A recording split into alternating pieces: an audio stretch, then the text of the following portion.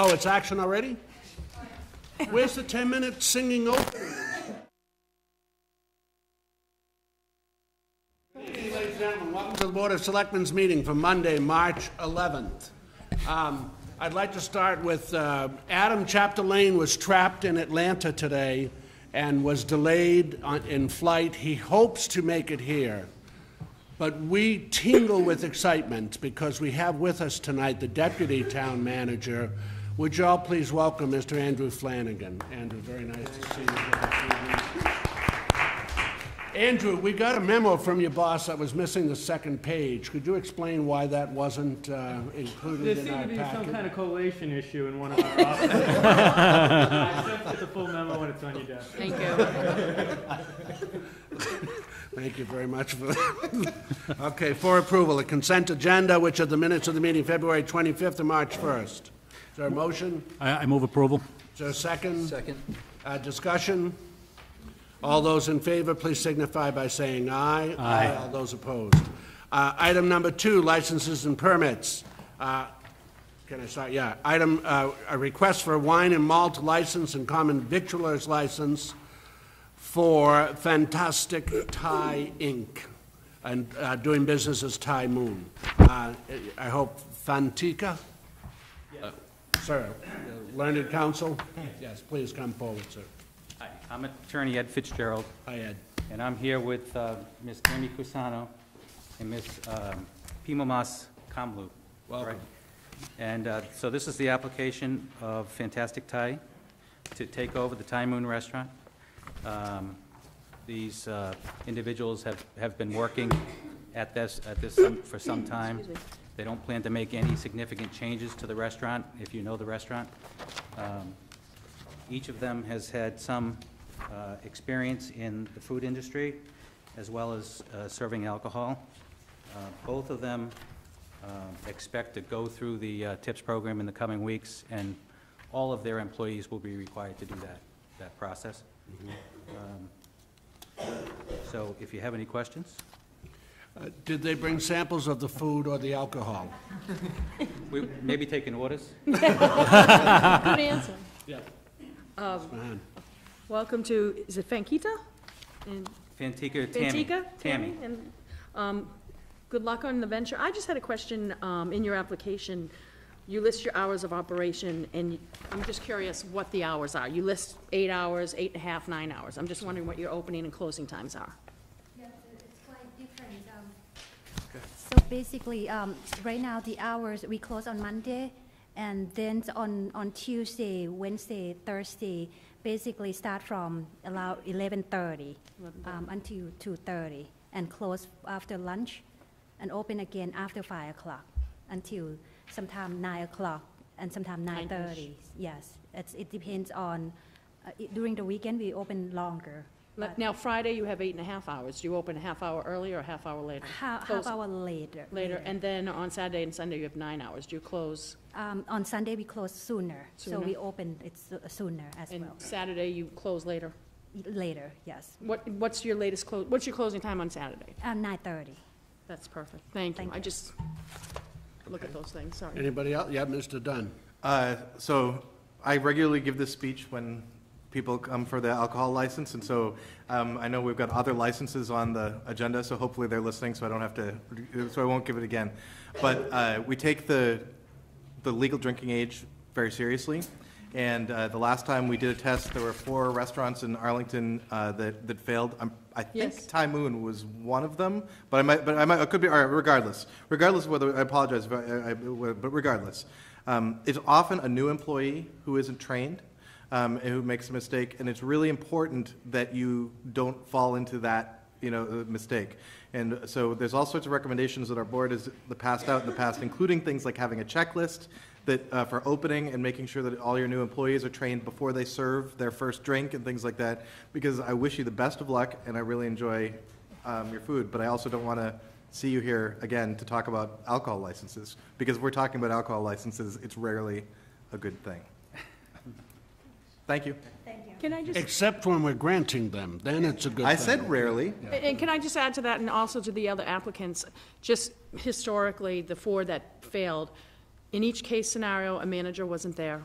It was a new employee, and they didn't have established um, employee training protocols. So that, you know, not only when an employee came on, there never was a monthly meeting to say, okay, you're brand new. So not that that necessarily dictates you're going to serve, but it I- it was curious to me as a court reporter, I always look, in- as an attorney, what are the similar things? Th- Those conditions existed for those four brand-new employees to serve. Thank you, Mr. Dunn, for remembering that. Thank you for the suggestion. Could I have a motion, please? I- Yeah, I I move approval, subject to all conditions as set forth. Second. Further discussion? All those in favor, please signify by saying aye. Aye. All those opposed. Thank you for choosing Arlington. Best of luck. Thank you. Thank you. Thank you. Good job, attorney. Uh, Item number three, it's a request for a wine and malt license and common victualer's license. Nicholas Portillo, I hope. That is correct. Another learning council? Yes. Welcome. Thank you very much. Members of the board, my name is Jared Chrislip from the Pico Law Office um, at downtown. And I'm here joined by, I believe, by Nicholas Portillo. You said it correctly. Um, His sister, Maria. Excuse me. Uh, Maria is the proposed manager of record for this transfer, uh, a corporation-to-corporation transfer for ABCC purposes, an LLC to LLC transfer, actually, um, given the two entities on the, the deal. Um, It's very similar to the presentation that was just made in that it's uh, a new business entity taking over an existing operating licensed restaurant. To speak to some of your points and concerns that I can vouch for the clients that they were listening very carefully. Um, uh, one item that might be of interest is simply that Jose Landaverde, uh, the third member of the LLC, um, is currently operating. He's working at the restaurant over there on Broadway right now. He's a current employee and a longtime employee. Um, so that helps to address some of the concerns about new ownership or new management. There'll be some consistency in that regard. Also, uh, Nicholas has extensive business ownership and operation experience running a, a successful business in East Boston. Um, I'm not sure if there's any particular items that you'd be interested in hearing us uh, discuss in addition to that. It rather is that straightforward. We have an assignment of lease set, ready to go, contingent simply on the ABCC approval after presuming an approval here.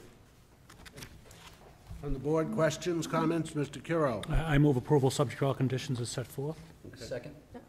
Yep. Mr. Um, Just one question, and um, some of this is the application, doesn't lend itself to give all the information. And I raise this because it was a neighborhood issue when it first was addressed, and I appreciate that um, you all have been down there and are familiar with. I see that you have checked off outside facade and si- sign plan. Um, I don't know if that encompasses the outside seating agreement that we came to. I, I just want to bring it to your attention, and if you've been working there, then you're already aware of it, that when the board approved in certain locations, not just this, but um, some others throughout the town, but especially on this one where it's kind of in a family neighborhood and houses across the street and a couple of houses down, um, if you all are going to commit to the same agreement, if, are you going to do outside seating?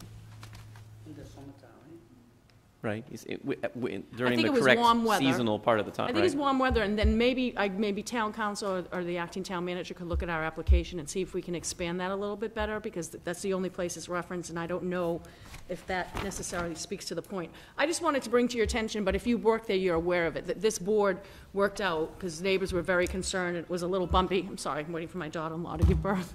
Um, This neighborhood, you know, really wasn't for it, and they came up with a plan that everybody agreed with. And it was, especially it was around disability access as well as the serving of alcohol. Um, I think originally, they said they wouldn't serve it outside, Um, so if you could just review that, and I'll make sure the board touches base with you all. But it's my understanding that you plan to do what you have been doing before. That's the simplest and most accurate way to That's fine. state it, I do believe, Then, yes. then Thank you. I'm, go- I'm cool. Right. Thank you. Further discussion?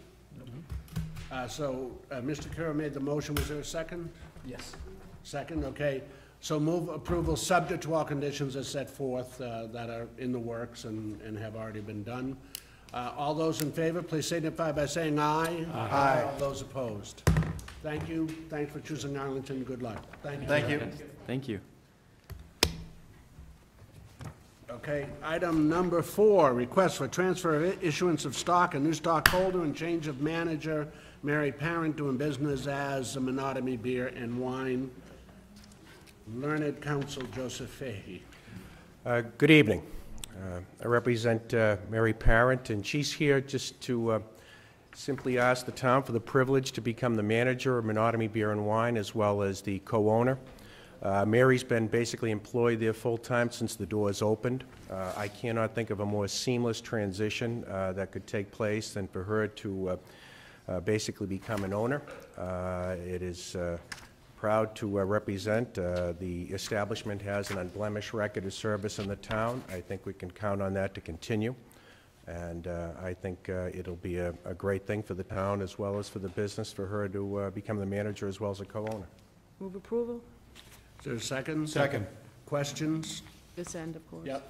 Um, Congratulations, Mary. Um, I've been in the establishment a few times, and I do want to say that um, I'd really like to highlight the community investment that you all, the Duggins and Bergstroms and yourself have done, Um, not just your monthly newsletters, um, they offer for local artists only. I was really impressed with this, can display their artwork and sell it, and you don't take a commission or anything, which I think is amazing. Um, And I think your You'll books... take anybody's artwork? Show me what you got.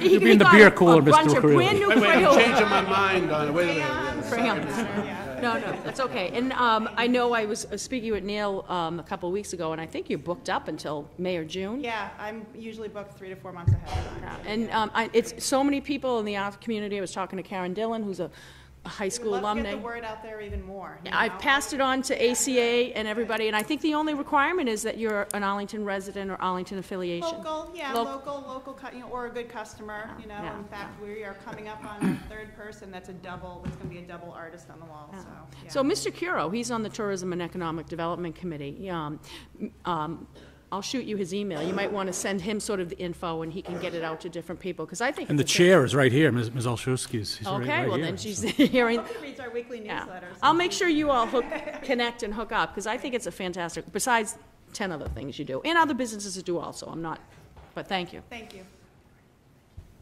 Yes, Mr. No, I, I think, I think Ms. Mahon stated it well. I just wanted to add on, I know that you s- also support a lot of the schools in town. Yes. With, with um, some of the, the uh, programs, uh, with some revenue share and, and the uh, community card as well. So we appreciate that, and certainly I've gotten to kn- know you from visiting the, the- the store too, and appreciate the customer service and the, the uh, great um, face and responsible way you run the business.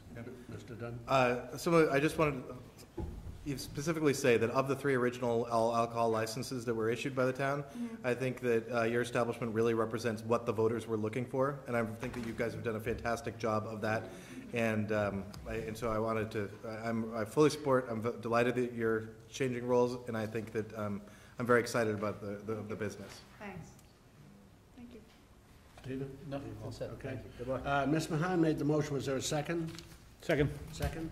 Uh, I kid, because my artwork would look like I had spent a few hours in the shop first.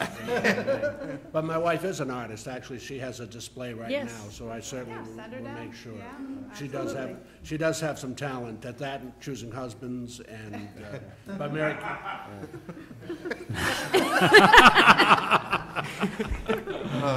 Gordon will not be addressing us. Mary, thank you for, Jo- Attorney Fahey, thank you very much. All those in favor, please signify by saying aye. Aye. All those opposed. Thank you. Congratulations. Thank you. Best Thank of you luck very much. continuing. Thank you. Thank you, Attorney Fahey. And item number five, a request for a change of manager, wine and malt license, Jacqueline Davanuart. Good evening, members of the uh, Board of Selectmen. I'm Attorney Jonathan White. I'm here on behalf of the company. Um, I serve a second role. I'm also the current uh, manager of the establishment. Um, We are simply looking to uh, remove myself as a director of the corporation and as a manager, and in my place, uh, the current president of the corporation uh, step into my shoes. Um, My client recently became an American citizen in July of 2012. That was one of the main reasons why we couldn't set up the establishment uh, with him holding the license initially. He uh, has done an excellent job with his business in the three years he's been in the town. Uh, He also has two other establishments, uh, both, uh, one in Medford that currently has a beer and wine license, and one in Newton that he's fortunate enough to be in the process of selling. Um, He has never had any problems in his establishment uh, during the times that I'm there serving my role. When I'm not there and it's under his supervision, uh, he understands all of the duties that are required of him and trains his staff accordingly. Thank you. Board members, questions? Yes, Mr. Dunn? Did you hear my speech? Did you hear his speech over to the first person that was talking? Yes. Okay, good. We're three for three on restaur- uh, restaurants and liquor stores that I go through today, so I enjoy your, uh, the curry dumplings. I speak with uh, my staff all the time, so check ID before I sell the beer and wine. Cool.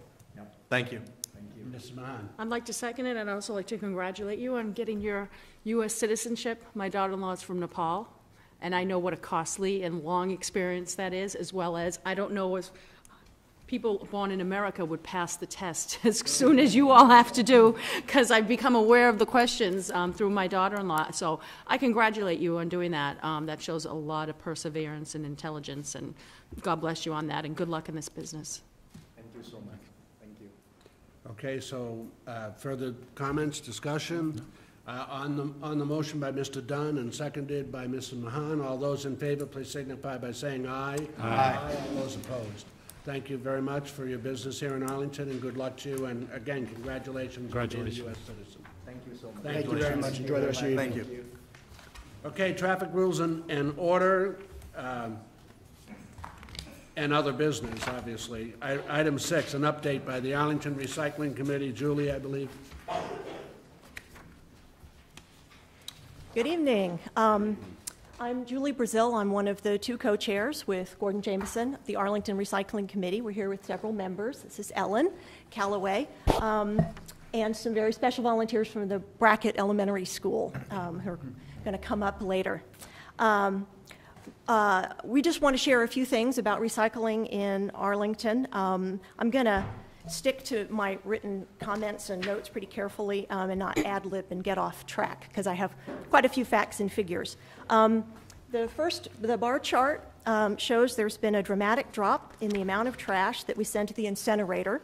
Um, the green uh, or the blue speckled line towards the end is our projection of the results for the end of the first year of the trash contract, so ending in July. And it's a very nice um, decrease from the previous year. Uh, I'm not going to get too hung up on charts and graphs, but I can report that recycling is up and yard waste is up, um, so that's good. Um, and so that means we're saving money by not burning things that shouldn't be in our trash and are easily picked up curbside every week. Uh, the next chart shows the major components of municipal waste. Oh, yeah. I- I'm colorblind, but uh, you- you referenced green. it- it- Oh, the it. green chart, I I was wrong. It was the blue speckled chart is their estimated uh, end-of-the-year results. Okay, that- And then what's 50% diversion? I'm going to get to that. I'm sorry, Good timing should I- on your question. should we for jumping ahead? That's all right. Forgive me. Um, The next chart uh, shows the major components of municipal waste. The big red area is the trash that we burn, and we pay by the ton to burn it. Uh, recycling and yard waste are in blue and green, and we have a tiny sliver uh, for white goods or appliances. Uh, the, these amounts are tracked by weight and not by volume, so it's not the number of barrels of recycling or the bins out on the curb. Um, our goal as a community right now is to get the red section, the trash we burn, down to 50%. And that's just showing what it would look like um, there if we got to that 50% estimated. Um, the statistic uh, for, for this is often referred to as diversion. And that's the idea that we want to share this evening. Anything we keep out of trash barrels, anything we divert away from the incinerator, saves the town money. Um, so if you're looking at the bar graph, um, from when we started uh, thinking about recycling in this way as a town, uh, we have reduced our trash by 38%. And if you add up all of the savings over that number of years, it's about $2 million. Um, getting to this goal of 50% will mean a lot of people thinking about how they can contribute, and we'll try some new things. Right now, people are composting kitchen waste, dropping off household items like toasters and lamps at DPW during office hours, or at our Big Saturday collections uh, twice a year. Clothes and books can go in bins around town, and packing peanuts can go to stores that accept them for reuse. The committee is always exploring ideas, um, and one of the ones we're going to be looking at next is uh, if it's possible to organize a collection for large items like mattresses and sofas. Um, the logistics are complicated, but we're looking at it. Um, we know that elementary schools are working on lunchroom recycling, and I asked the volunteers from Brackett to come. They have an amazing group who are composting lunch waste and separating recyclable items out of their lunchroom trash. They have set up a system that diverts 75 pounds of waste away from the dumpster every day. And by weight, that means they are diverting about 85% of their lunchroom waste. Um, so we're really excited by their, uh, by their hard work. Um, the pilot program uh, is obviously successful, and other schools are exploring ideas and talking to them, and recycling in school lunchrooms across town is getting a boost. Um, and then we have a new idea that we want to try. The town's recycling coordinator uh, found a company that can recycle some kinds of styrofoam. We get a lot of questions about why the town's list of recyclable items doesn't include styrofoam when so many pieces of styrofoam that you see are marked with the number six symbol. The short answer is that our hauler develops the list of recyclable items based on the markets, and some products are hard to collect or hard to process or separate, and it's not cost effective. But new markets are created over time, and so we have found a styrofoam collection uh, company. So we're going to try collecting styrofoam in May at our Community Collection Day. Uh, the list of items they can take is very specific, so we want everyone to check the website. Um, that information should be posted soon on the town website under recycling. Um, because uh, if you bring the wrong items, it contaminates the process too much. But we wanted to let everyone know that they can start collecting um, uh, recyclable styrofoam and just set aside a corner of your basement or front porch, um, and we'll see if we can't fill up a dumpster on May 11th. Uh, finally, we have an, uh, the Town Eco Fest coming up in just a couple weeks, uh, March 23rd in Town Hall. Uh, there's lots of information on the website, but it is a great time to learn more about composting, which we fully support. Um, the town is working to preserve and showcase our open spaces, and there'll be information about that concept of keeping your eco footprint small, so it should be a fun event. Um, and of course, everyone interested in recycling issues um, is welcome to poke around on the town's website. Um, there's a lot of information, um, and we add to it from time to time if people have questions. So I just want to say thanks to everyone in Arlington for all of your enthusiasm for recycling. Thank you. Yeah. So the, I don't know, 15, 20 Dunkin' Donuts styrofoam cups I use a week. Are they, uh, does that count? I have to check the information. I think they are, but some, some companies are and some Yeah. companies aren't. I'm pretty Okay. sure that those It are- depends on, yes, it, it'll, that'll be there, and I'll be sure to send a follow-up email and clarify that, since you'll be an excellent source of styrofoam, Kevin. And then when I don't show up on Saturday, she'll be yelling at me, but, uh, anyway, yeah, Ms. Mahon? Maybe Ms. Mahon will help. I- I will. I've, I've been down there for stinky sneakers and. Yes, you that's name it. right. You're a big part of it. Um, uh, Are there three people here from Brackett? Yes, stand up. God bless you. Um, Who sneezed, I mean. God bless you, too. But um, first, I want to commend you on stepping to the forefront and initiating the program up at Brackett. Two of my three kids went there, and I have a little affinity to it. I was PTO president for five years. But I, in that vein, I would like to say to my colleagues at Brackett, um, if you could possibly explore, um, I also have an affiliation with the LABBB Collaborative Program, and Lexington Lab, they're older kids, they're 16 to 22 kids. Um, they, they had contacted me about, they really wanted to get recycling, um, places that, that recycle toners and the like.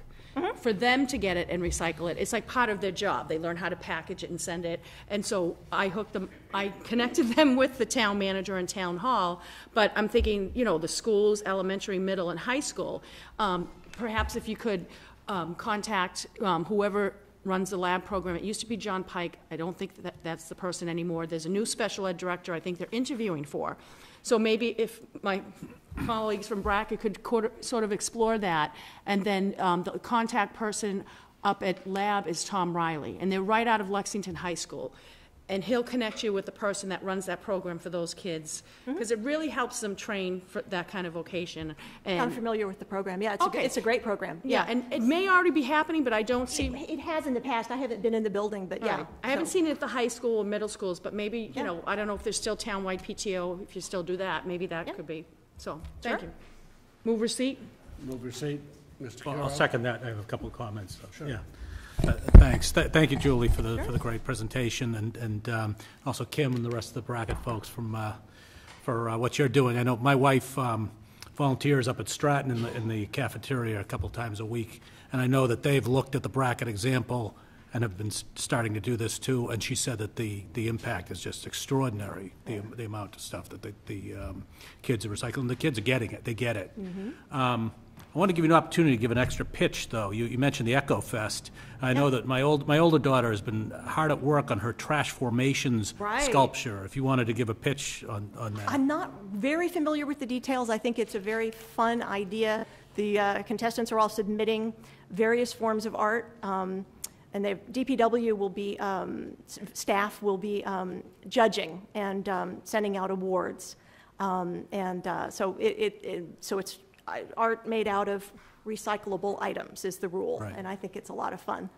Right, So and am I- I to understand, I can make art out of trash and maybe get it hung at Mon, at the Menotomy Liquor Store?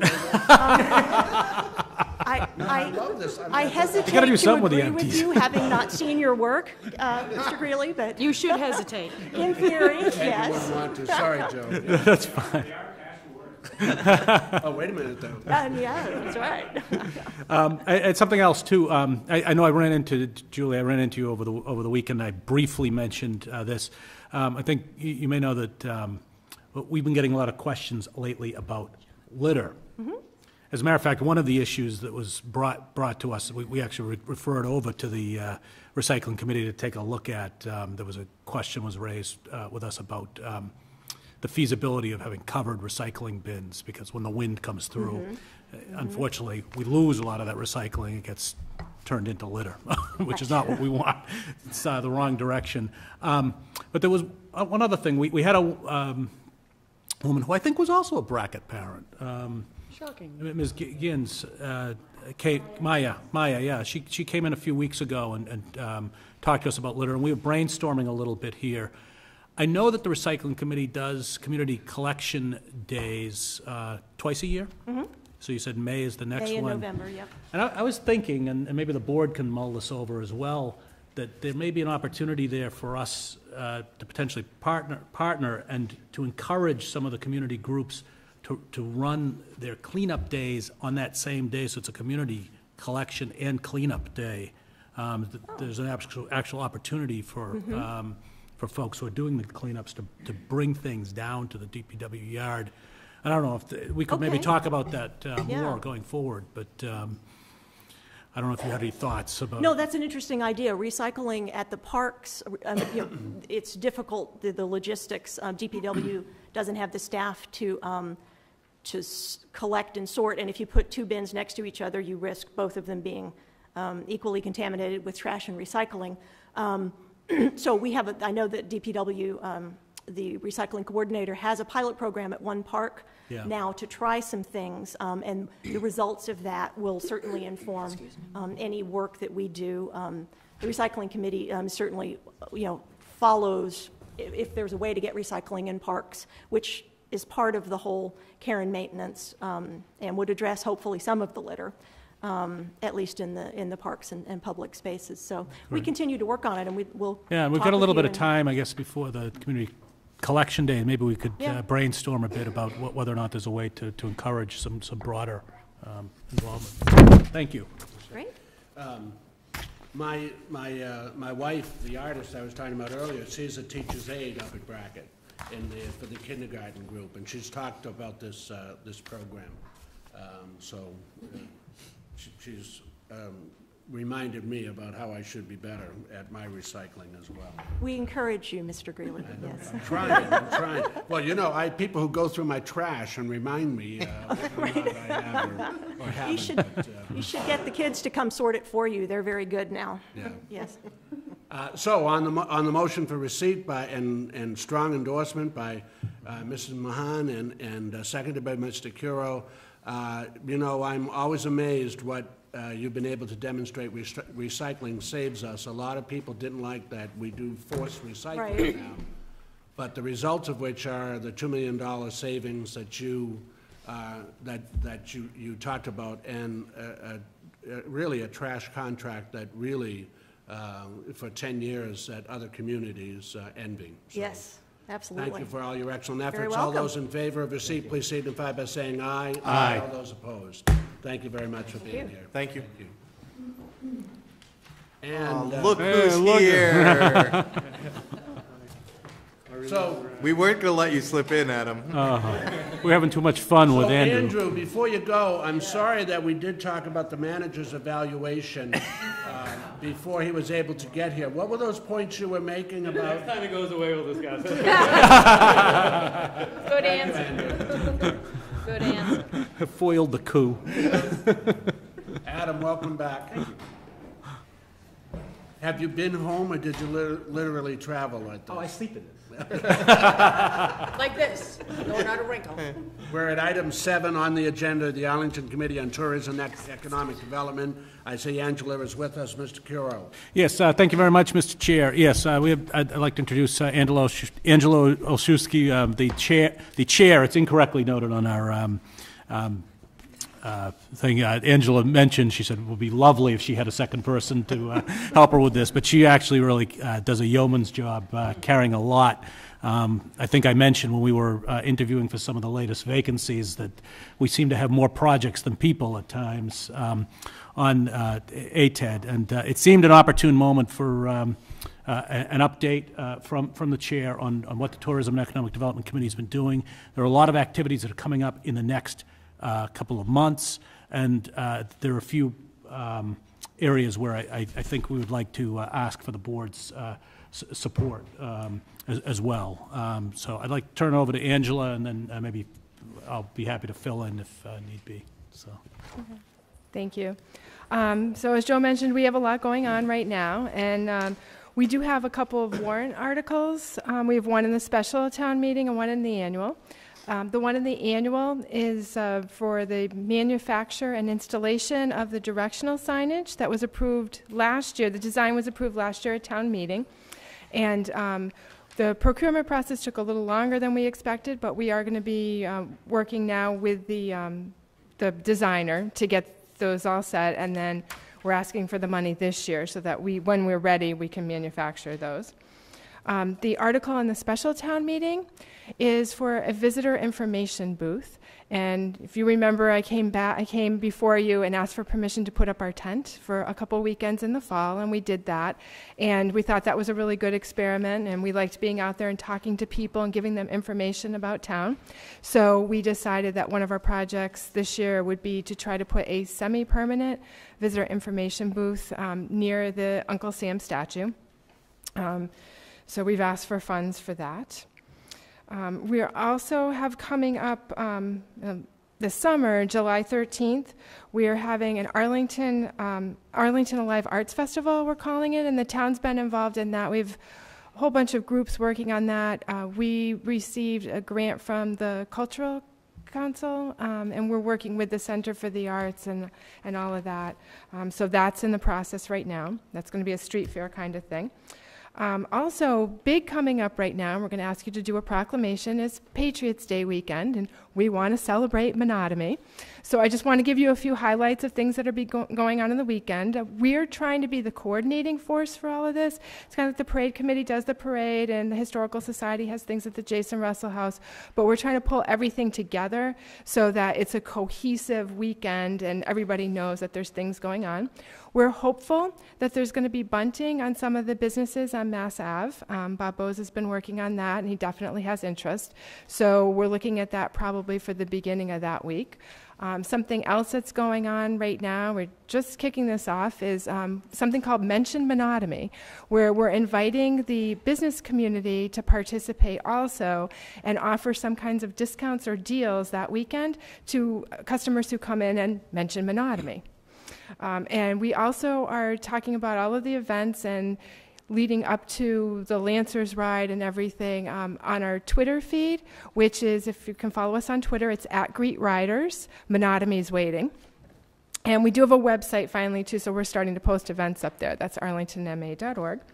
So, you know, on Saturday of that weekend, the Jason Russell House will be open from um, 1 to 4. And there's going to be, weather permitting, children's activities on the lawn and refreshments. There'll be tours, and the Menotomy Minutemen will be there. Um, they were, we were also um, happy to find out at the Historical Society, we had the house dated, and we found out that um, while the main part of the house was built as expected, um, the rafters, many of the rafters in the inside frame, actually we believe came from um, Grandpa Jason Russell's house, and they date back to about 1640. So we're celebrating with a housewarming. Um, on Sunday, we have the parade. That starts at 2, and the Jason Russell House will be open for tours from noon to 4. And then Monday morning, the Minutemen will be doing um, their traditional flag raising and burying ground ceremonies. So it starts at 7:15. Lexington is not the only town that gets up early in the morning on Patriots Day. So um, come down and join them. It's nice. I did it last year, and they marched back over from the Jason Russell House to the old burying ground playing music. And everybody who doesn't know about it pulls over in their cars and watches. But it's a nice way to honor those who lost their lives that day here. Um, it's very important. And then we'll be doing our event again, which is, we call it the Menotomy Welcoming Committee. And that's where we greet Paul Revere and William Dawes. And that was really successful. I know, Kevin, you were there last year. I forget who else came. But we had, we think, at least 100 people down there. And we had crafts for the kids. Diane Taraz is going to be um, performing again. And um, we're going to be sponsored by Bose Real Estate again, too. So. Just to me, Are they going to do that thing where they were able to watch where Paul Revere was, like on a map or something on the? on Yes, the that's what we do on the Twitter feed that day. we actually have people tweeting along the way. So, for example, we knew when Paul Revere was in Medford, so we had an idea of when he was coming. And we're getting more followers, so hopefully we will have even better, you know, intelligence along the route. We had people over in like Somerville or something who were seeing William Dawes, but they thought it was Paul Revere, you know, that, that kind of thing. Well, I- and uh, I'm not sure whether it'll be William Dawes or Paul Revere this year. Do we know uh, which it will be, or? We get both of them. I think William Dawes is a scheduled stop, but Paul Revere always stops too. So as far as I know, we'll get both of them. And, and actually, you're, you're going to be reading, right? We have you Yes, reading uh, this year. Listen, my children, and you shall hear. Yes. Uh, You poor souls, uh, me reading a poem. Um, But Dawes did this great poem out in front of Town Hall last yeah, year. Yeah, yeah. I think we. Yeah, Yeah, maybe you can if you can read that one too. And we were even saying too, because maybe we can get the kids to sort of chant the refrain, which I think is something like, and his name is, re, my name is Dawes, and his is Revere or something. Yeah. Right, Yeah, that'd be great. It's your whereas thing that you like.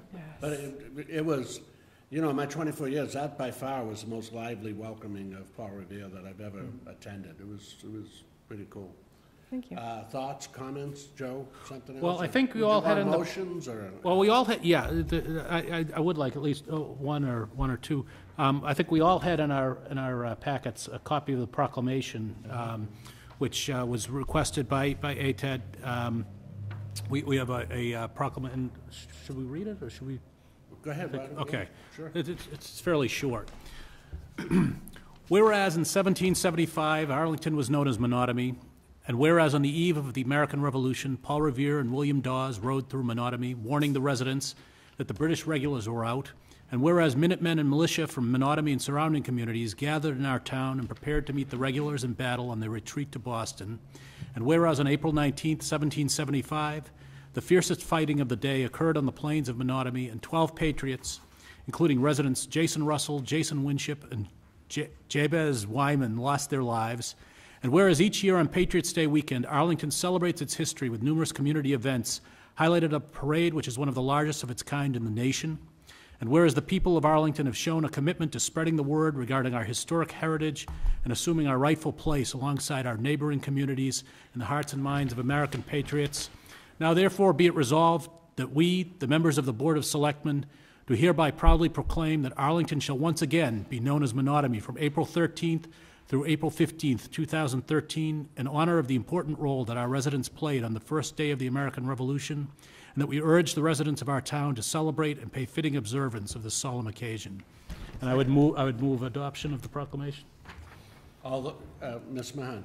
Um, If I could, and I- I'm sure Mr. Curro, Joe, Ms. Ms. Olszewski, Angela are working on this, um, but whatever, nope, sorry, whatever the town can do in terms of, I know Mr. Greeley cited there was a great attendance last year. I I started posting it on five lists, which, you know, are very well versed, including a parents list. And it is on the town website, but I don't know, it might be too late, but if there's any way we can either a couple days before the parade and/or during, have somewhere in an appropriate fashion, if it's available, the LED um, announcement board that kind of lists our events and activities, because a lot of people don't know that, you know, at 12 o'clock this happens, and/or, I don't know if we can get, I know out front is advertising event, I think March 23rd and 24th, maybe we can get something that, again, lists the Sunday and Monday activities, because so many people say, and, and the town website, congrats to Joan Roman, is very well used. But I know that, um, you know, there's a lot of people who are not reaching that when they hear about it afterwards, they say, oh, and the best thing is last year, word of mouth. You know those hundred people probably told at least two or three people. So, and it may be too late for this year to get something out on the sandwich boards, um, maybe next year, but, um, I'm gonna leave it to Mr. Curro, Ms. Olszewski, and the town manager to see if there's any other way we can get, um, sort of a listing of the events for people who aren't on the town website all the time, and don't get bothered by emails from me. Thank you. May I ask another question? The, uh, there was like a poster contest for the kids last year, right? To, for them to make posters to hold up when Paul Revere and William Dawes came along? Yeah. Was- Yeah. Am I right? Was it Um, something like? They made posters, we didn't have a contest, but they did make posters, yes, And they yep. could bring the posters. Yeah, we're gonna do that again. That's a good idea, though, we could, ha- we could have a contest, actually, we hadn't, hadn't thought of that.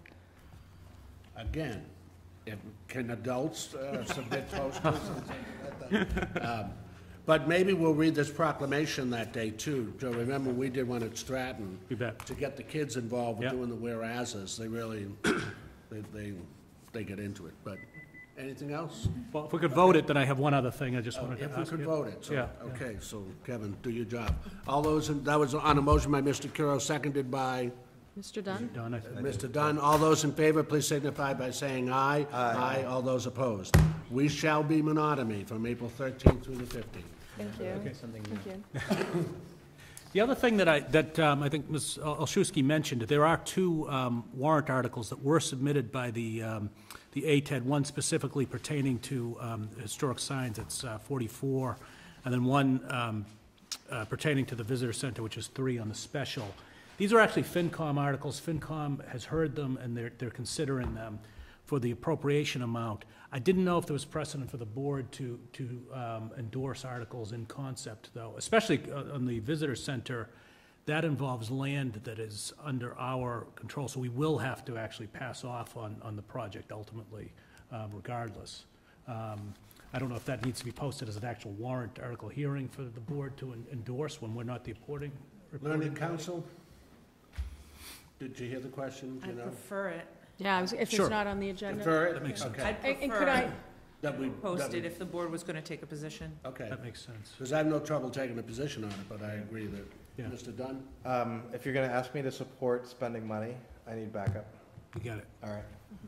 Uh, To that point, um, could we post our hearing and endorsement of it after FinCom has um, voted on it? Yeah, so we that can makes have that? sense. That makes sense. That's what I would like, just like we're doing that with the retirement compensation and, Okay. Anything else? Come Mr. back around on that. okay. Anything else, Mr. Curro? No, that's it. All set, everybody? Yeah, and I only say that because the main motion is FinCom, and I don't want them taking any sort of unfounded intention that we're voting on something that it's their baby, and, you know, so that's Makes why. perfect Thank you. sense. Okay. Thank you, Angela. Thank you. Thank you. Thank you, Mr. Curro.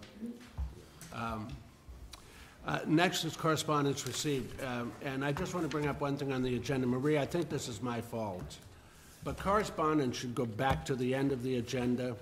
It was that night, there was someone here on one of the, that I wished I'd taken it out of order, but I didn't mean to, and to tell you that, sorry. So, thank you for being responsive to me, but I think that correspondence normally should, but if someone's here for it, I'm more than glad to take it out of order, so they don't have to stay through the rest of the night. So that said, on correspondence received, Mr. Dunn. Um, Mr. Chairman, I have already informed the town manager and the board administrator that I need to recuse myself from any discussion of the water on Alpine Street because those are my immediate neighbors. So I'm taking this opportunity to inform my colleagues that uh, I will not participate in any discussion or votes or anything related to that particular issue. Okay? Do you want to make a motion to move receipt on the uh, Bob Valeri, 7 Wheaton Road, and Christopher Amanajan correspondence, and then I we'll so vote? move. I'll second that. Okay? Um, And if I just, No, yep. sorry, could br- briefly um, say, could we refer the um, request for speed bump on North Union Street to TAC to get in the queue? And also, um, on the Master Road Scholar for Daniel Warren, Dan Warren, um, I want to commend him on that. We have some uh, correspondence in here that indicates he's a uh, Master Road Scholar. He attended a minimum of 22 training sen- sessions, which included snow and ice operation, and it lists other things. And I do want to say, as a result of this very active winter we've had, quite a few people have emailed me. Somebody, some people say we're not doing it so well, but quite a few, at least 20, 30 emailed me, and people have stopped me in the street and said, boy, what a difference from seven to nine years ago, when um, Mr. Hurd was the chair of the committee, Snow and Ice, and I sat on as vice chair, and we really tried to tackle, um, and I'd like, you know, I'll bring it up under new, well, I'll say now, I'd like, when appropriate, when Mr. Rademacher, Mr. Chapdelaine, and Mr. Warren think appropriate, that the season's wrapped up, we just have that one Snow and Ice committee, because that really got us into, nothing's perfect, and, you know, it was a blizzard, but quite a few people said, boy, what a difference from seven or eight years ago. And congratulations to Mr. Warren on completing that. Mr. Curro. Yeah, and to, to that end, I'd just note that in our packets, I think about a month ago, there was a very nice article about uh, Mr. Warren completing that in the um, Mass Interchange newsletter, which is from Bay State Roads, and I know that that's posted up on their uh, website. It's, uh, it gives a little bit more information, and uh, we're all very proud. Okay. Um, uh, Am I right, uh, do we have a policy on speed bumps on public roadways? think we have standing policy. I don't, I don't believe there's any standing policy. Yeah. I, I mean, it, it has been requested before, and, and um, whoever the fire chief was at the time, I'm sorry, I don't remember, uh, that was an issue in terms of uh, speed bumps on public ways. But anyhow, I agree with referring it to TAC, and let's see what they come back with. I just wasn't sure if there was some policy. Okay, so on those two, uh, motion to receive and refer, all those, in- and and congratulate Mr. Warren. All those in favor, please signify by saying aye. Aye. All those opposed. I'd like to move receipt of the Alpine Street correspondence. Second. And Adam, did you wish to comment on that Alpine Street and the water issue? Uh, Well, o- only that, uh, in the board's informational packet, there was a, a letter in response to the letter received from the the residents on Alpine Street uh, that I, I copied the board on uh, for further explanation. And, and I think basically where this is a private way, and Yeah. it's a condition by a homeowner, of the town, we can't really get involved. That- that- We have no It's power. absolutely correct. Uh, it was A very legitimate issue raised by Yes. uh, the residents on Alpine Street, but because it is a private way, there's very limited, if anything, the town can do to involve themselves in the issue. Thank you. Okay. So this is just a move receipt, please? Yep, from Ms. Mahon. Second? Second. All those in favor, please signify by saying aye. Aye. Those opposed? Any baby yet, Mrs. Mahon? Not yet, no. Is everybody sending funny comments about this meeting? About this meeting? About what a fine ch- job you're doing Yeah, this I week. bet they are. That's- And a request for artwork, but that's, Yeah, it. Oh, yeah, yeah, yeah. yeah. I'm not gonna read the artwork. All right, warrant article hearings. I don't know why we decided Mr. Dunn is to move off of Alpine Street. I think that's.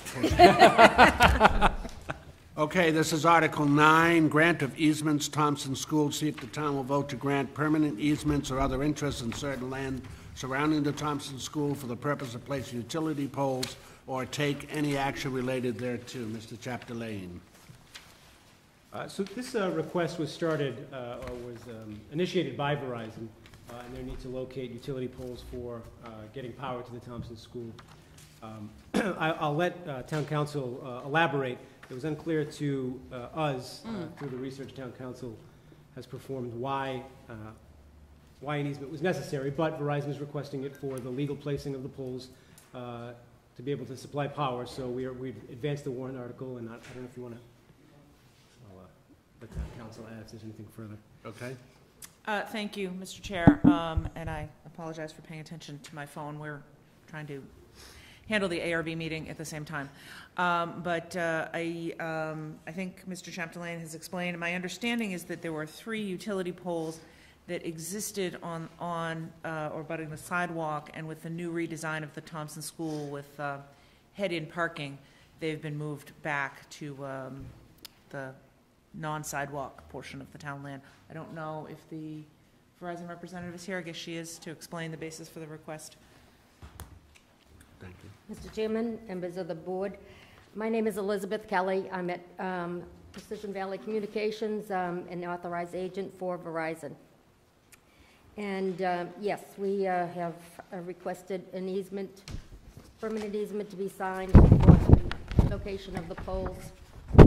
And I'm in receipt of a letter of consent from the Arlington Public Schools that they um, are aware and approve of our submission to the article for the easement to be brought to the annual town meeting. Mr. Dunn. So, uh, town counsel pa- cir- passed out a memo for us uh, in our packet, and she said that, it- I I gathered from the memo that ordinarily this would be done through something called a grant of location as opposed to an easement. Can you explain to me why this one would be an easement as opposed We, to? um, no, grant of location is um, something that is done when we are asking for our facilities to be placed within a public way. Uh-huh. Thompson School is a, is owned by the town, and we consider that a private property owned by the town or owned by a town board, so therefore it, it it wouldn't fall under the jurisdiction of Mass General Law 166, Chapter 22, which covers the grant of location, which technically is, um, utilities have the right to be in the public way, and the town boards are basically acting as agents or representatives of the state, just so that we can um, work with the town on the locations.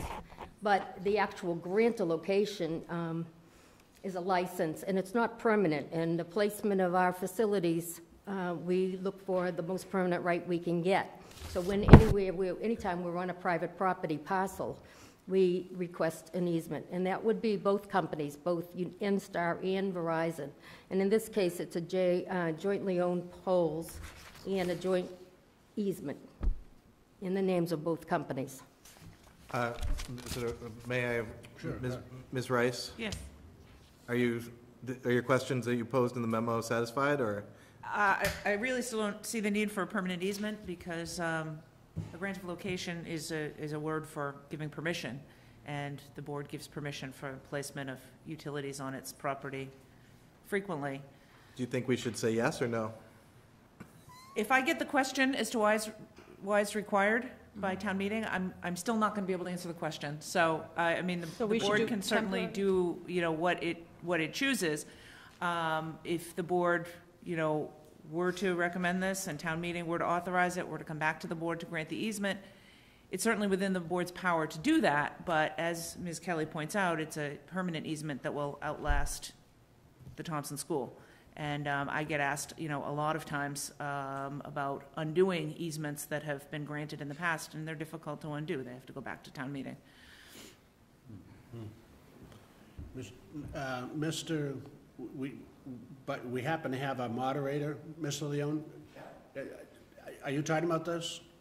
No, no, I'm, do you have a feeling on this? Do you understand the, what we're discussing now, John? I, I, I, um, Sir. I was just explaining to Mr. Helmut the difference between an easement, which is permanent, we never can give it up, it's up to Verizon to give it up. Okay. I don't understand the, um. So, yeah, but us going back to town meeting if we have to take it back, all right. Yep, thank you, John. I didn't mean to put you on the spot, I just, Mr. Curro. Yes, it sounds like, um, you know, the issue isn't just the permanence, it's also expeditiousness. We could much more expeditiously uh, issue a grant of location, is that not, not true? Uh, That's correct, and my understanding is We that's won't already- accept a grant of location because that's not our procedures uh, over many, many years. And neither company will s- set the poles on private property without a permanent right.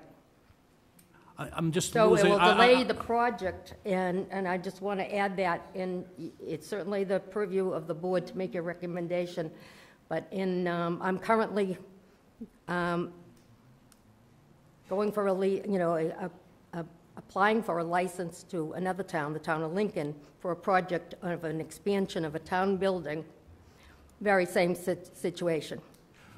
We had to relocate, and the problem is, that, see, our facilities, uh, as regulated companies, our facilities are, we would have to pass on costs to relocate if we don't have the most permanent rights. When we have permanent rights, in the future, we are taking action to be responsible about protecting our assets, that we don't have to come back and then turn around and charge ratepayers for um, a change of use of a property. So once we're there, then the secondary thing is certainly the use of the property can change, but when that owner comes, the secondary owner, next owner comes then, uh, and wants something moved, we don't have to go out and, and automatically relocate at somebody's discretion and turn those costs over to ratepayers. So other poles in Arlington, those are all permanent easements? If they're on private property, they should be. I can't say that they are uh, It's the first one. exactly, but. I've- I've always I heard know, tem- we've temporary never easement, and we have other pro, What, I wonder whether our should town investigate. councils should speak with their counsel uh, on this further, or, I- I mean, I, I understand what you're saying, that they won't do it, and I don't want to delay the project by any stretch, so where are we here? I mean, I, I'm very confused as to why this is considered private property. I mean, it's, it's public property, correct? It's school property, it's public property. The deed is not in the, in, in the name of the town. It's in the name of the school board, the school committee. which is public, which is a public board. No, it's, why don't, yeah, why don't we investigate? I'm a former um, school committee member, yeah. ma'am. Mhm. It's a public board, and it's Yeah. public well, I land. understand it's a public board, but it's, uh, it's not considered, um, um, public property. It's not for the use of everybody, All right, well, why don't we? 'cause like a it's- street is. Thank you. This is the first I'm hearing of this. Normally, and we have one that was voted at the last meeting and tonight, it's a temporary easement. So why don't we do as the chairman suggested, have Ms. Rice contact, I'm, I'm blanking on your name, and/or counsel, to see if we can do what we've done in the past with municipal property, school, town, public, um, and if the temporary easement allows you to continue on. And then you can rectify that, um, within the next two weeks. Does that sound appropriate, Ms. Rice? That's fine, I'm happy to do that. It is my understanding that the poles have been placed pursuant to a grant of location. Okay. They already have been placed? My understanding is they were placed last week. That's not a grant of location in, in the way we look at it. It's a license. But a grant of location is a, is a special, the grant of locations is a license that is granted just for use on public way, Right, Okay, so we'll investigate it. not on private Especially- property. right. They're already there. It's the permanence of it, for us, you can Yeah. understand. We're Mhm. rebuilding that school. Some point in the future, they're probably gonna have to do that again, and who knows, you know, there was talk about repositioning it completely on the field this year, so Mhm. I- I'd feel better if we asked town counsel to come back to us. I'm not opposed to it, I just, and- but I hear that you need it, so, uh, and we have time before town meeting to be able to uh, re-discuss this and take a vote before town meeting. So move to table to March 18th? Second. Is that okay, March 18th, is that all right with you? uh, It should be just a quick thing, that's the only reason. I know we have a full agenda on the 18th. Maybe you don't even have to be here for that if, if, it's been answered to your satisfaction with our town counsel, Ms. Kelly, okay? That's fine, thank you. Okay, thank Should I you. be asking you to table this without prejudice or anything like that? Yeah, we're not prejudiced. No, so yes, it is, yeah, I mean, uh, we want to do it for you, we Yeah. just want to, we want to do it bu- bu- Right way. what- to protect the town, Okay. as you that's fine. understand, you know, so. Could I also n- note Yes. something? that- Yeah. I I realize you came in on this warrant article. You might want to stay for a couple minutes, because there is one, we are hearing another warrant article regarding utility poles, and you may, you may, may be helpful to the conversation. Okay, Okay, thank you. thank you. Okay, so on the motion to table by Ms. Mahon, seconded by Mr. Byrne, all those in favor, please signify by saying aye. Aye. All those opposed. Okay, thank you. Thank you. Uh, Next hearing is on Article 12, I believe, uh, bylaw amendment, town meeting electronic voting, to see if the town will vote to amend the town bylaws to amend the method of voting at town meeting to allow electronic voting or take any action related thereto. Is, gentlemen. Good evening. Uh, Eric Helmuth, Chair of the Town Meeting Electronic S- Voting Study Committee, and John Leone, moderator, a member of the committee. thank you very much. Um, The committee, at the uh, direction of town meeting, has spent the last several months studying this issue intensely. I want to thank the committee for working very hard for several months. We have about half the committee who are town meeting members, and half the committee are community members who are technology professionals. That has led to a very rich and thorough investigation. Electronic voting systems improve the accountability of municipal legislative bodies simply by making it easy to quickly and accurately record individual votes and make those votes very easily available to the public. And in recent years, systems like this have, been become, have become affordable to even modest-sized communities in towns which have town meetings. And in fact, in Massachusetts, they are already being used. Currently, the towns of Brookline, Framingham, Billerica, Chelmsford, and Wayland are operating electronic voting systems for their representative town meetings. Wayland's doing it with uh, open town meeting. And currently, other towns besides Arlington that are seriously studying and considering this are uh, Lexington, Belmont, and Amherst that we know of. The technology is familiar to a lot of people who are um, in school settings, university settings, or even business seminars, audience response clickers, sometimes, sometimes called. The host or the teacher asks for your vote, you hold them up, you see the results on the screen. And a couple of innovative companies have taken that technology and added layers of security and databases to allow secure, reliable voting uh, by municipal bodies. So there's a handheld device, looks like a TV remote. You click that, it goes to a radio receiver that's attached to a computer that's running a special software on top of PowerPoint. The computer display uh, shows the votes that are currently up for, up for voting on the screen and then can show the results of the tally, or if desired, the actual individual votes of each member in a rotating grid up on the screen. The systems that we have started to look at are very flexible, and they allow a number of configuration options to suit the specific needs and desires of how the town meeting wants to operate the system. The benefits of the system as we see it are, are really an improvement. You know, nothing is broken in town meeting. The way we're voting has been, has been working well for a number, of- for, for a long time, decades and longer. Uh, but it's an opportunity to improve, specifically to improve accountability, because what these systems do is make it really easy for us as representative town meeting members, as representative legislators at the most local level, to communicate to our constituents what positions we take on their behalf the systems like this and procedures like this have the ability, the potential to further elevate town meeting as a real legislative body that's representing the interests of their constituents. The system may save a little bit of time, especially as we would get used to it.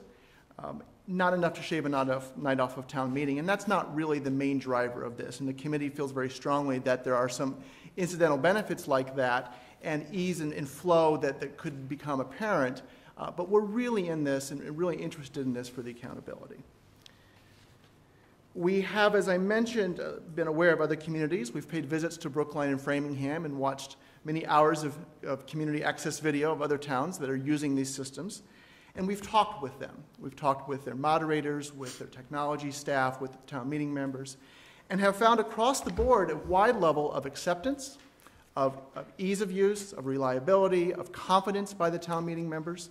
We went to Brookline the first night they used the system, and it went off without a hitch. People were prepared and well trained. I talked to some town meeting members in Framingham who really represent a cross section of the town. Not one of them had anything bad to say about the system. They said it's been really well received. The community has been very glad to get this extra information on the website of the town after each meeting on how their representatives voted. And it's gone very well. And in the study of our committee thus far, we have reached similar conclusions about the potential. In your packets uh, is, is an example of our study as a request for information, an RFI that we issued to a couple of leading vendors. If you're interested in the responses, I'd be happy to make those available. But we were satisfied, and more important, the technology professionals on our committee were satisfied that the systems as described and marketed currently are reliable, secure, uh, do what we need them to do. Also, uh, re- regarding the financing of a system, there's another uh, motion in your packet from the uh, Finance Committee, a vote that they took. And uh, we appeared before them a couple of weeks ago.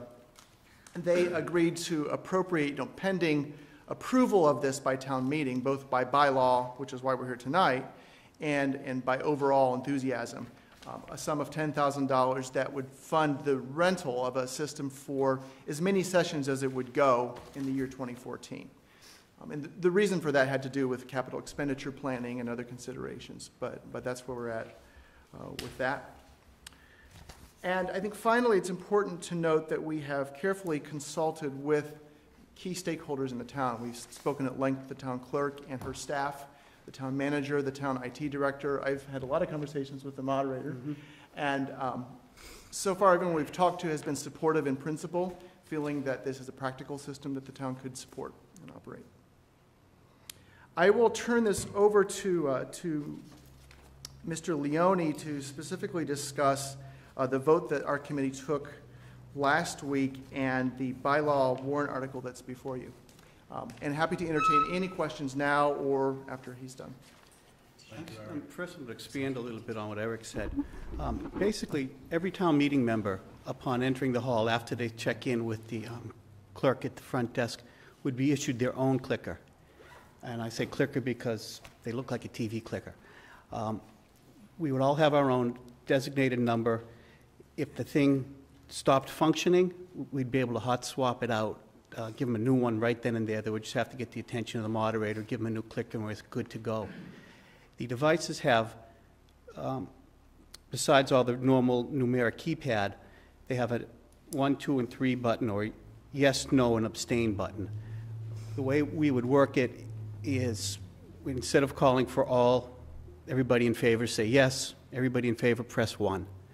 Everybody opposed, press two, and then they have the, the option to abstain.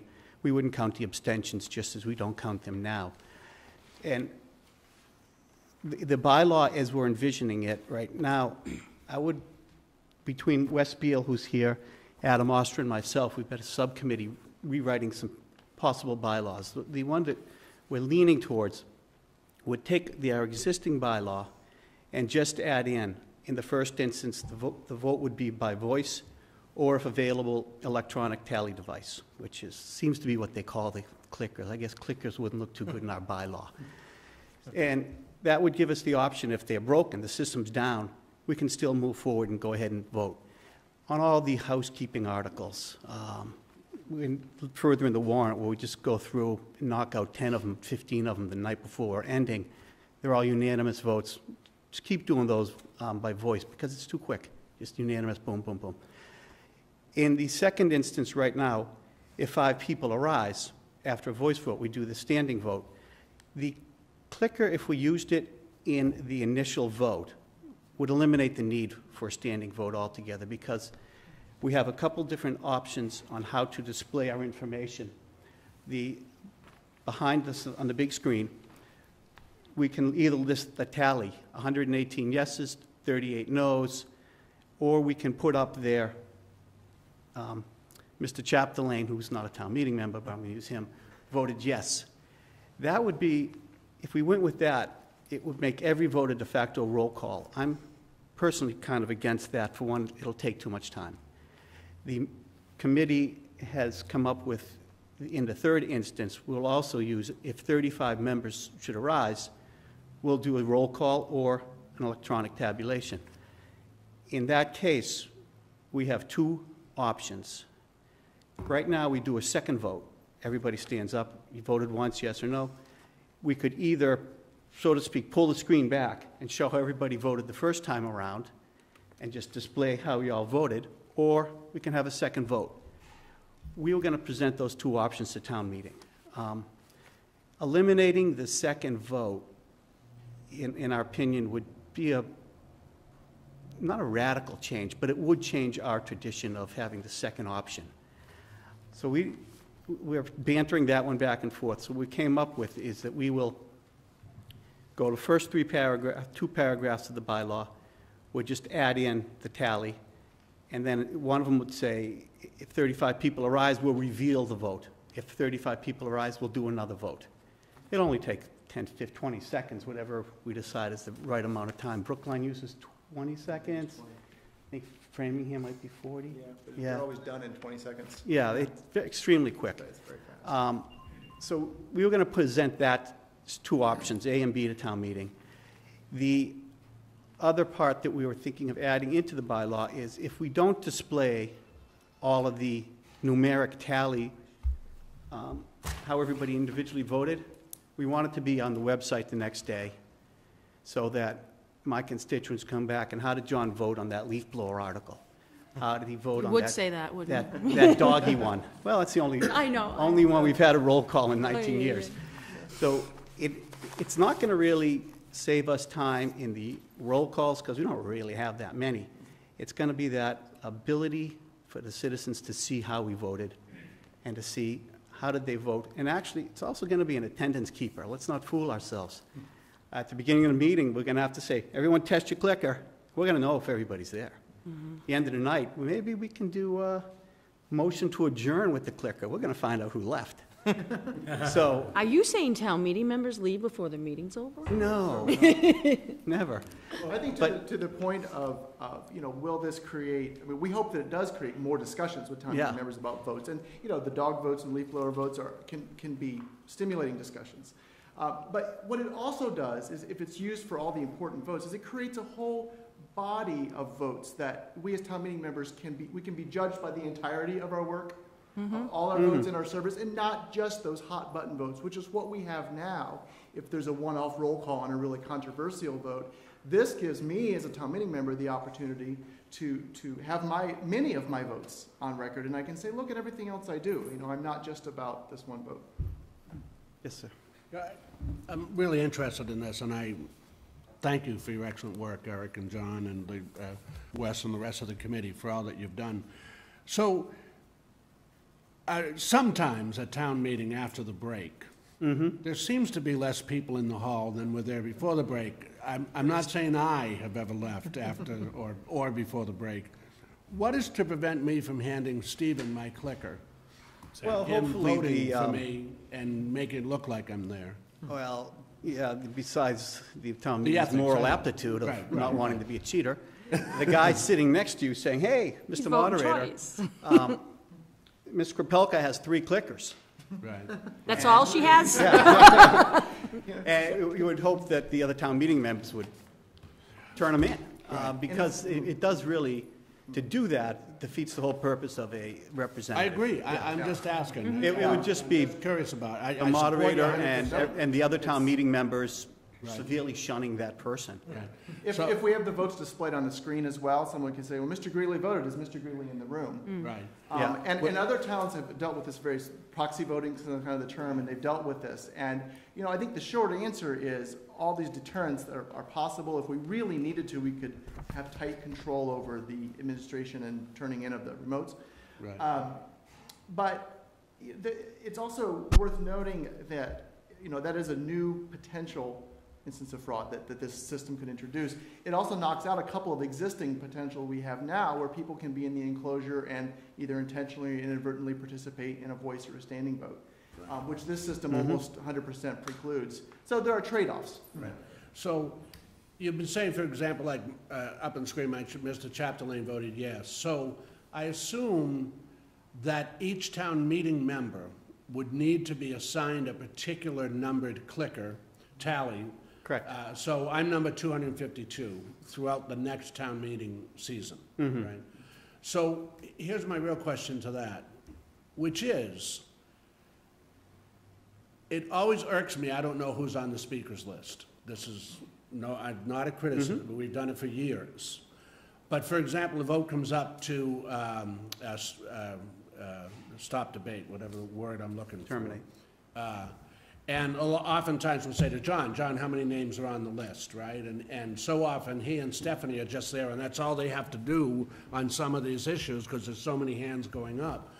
If, if we have a number assigned, is the technology such, could we also then, on an article, put a speakers list up? So someone clicks and says, I want to speak on this, and their name appears.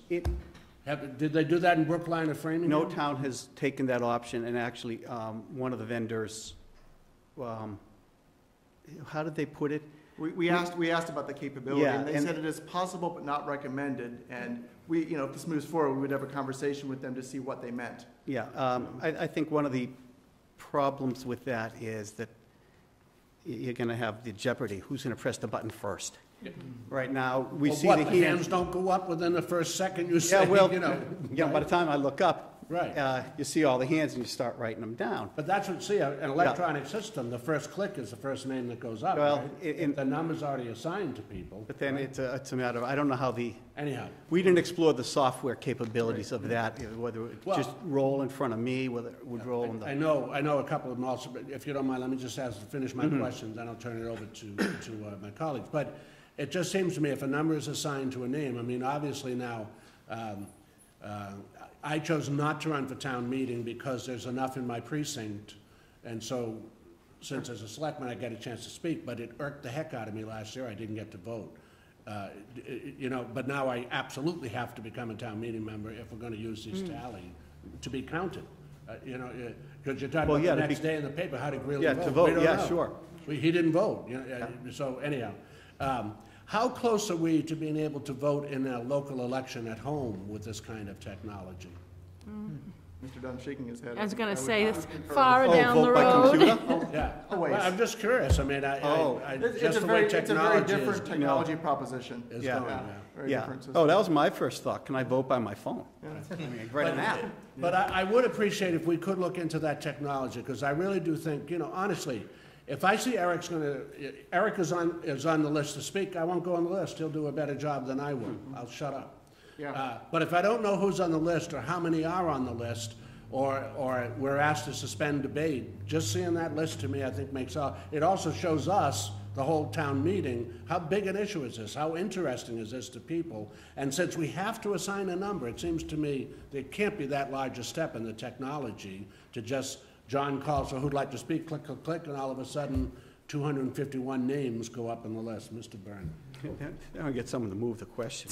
Beat that horse to death. No, I, I agree. I, I really like this idea, and I like Kevin's, or the, Mr. Chairman's idea of, um, you know, making a list when people raise their hands. I'm sorry. Um, one question I had was the ten thousand dollar, um, potential to rent the clickers. Yeah. Is there, um, have you looked into further down the road, potentially, you know, buying it as? Yeah, well, they, we went forward to finance committee, and we've got, um, in the RFP, a, we asked for how much will it cost to rent these things on a yearly basis? What are the costs going forward for rental?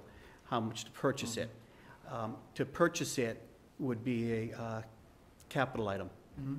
So we're looking at a two-year time frame. If town meeting votes to go with it this year, that wouldn't put the devices in their hands till 2015. This way, if we rent it, we can have them in our hands next year, see if we like them. Yeah. We might Test drive. decide, these are great, we gotta buy them. If we don't like them, we haven't bought them. So it, it's sort of a test run, as you say, Ms. Hamahan. But it, that would be the quickest way to get them into our hands.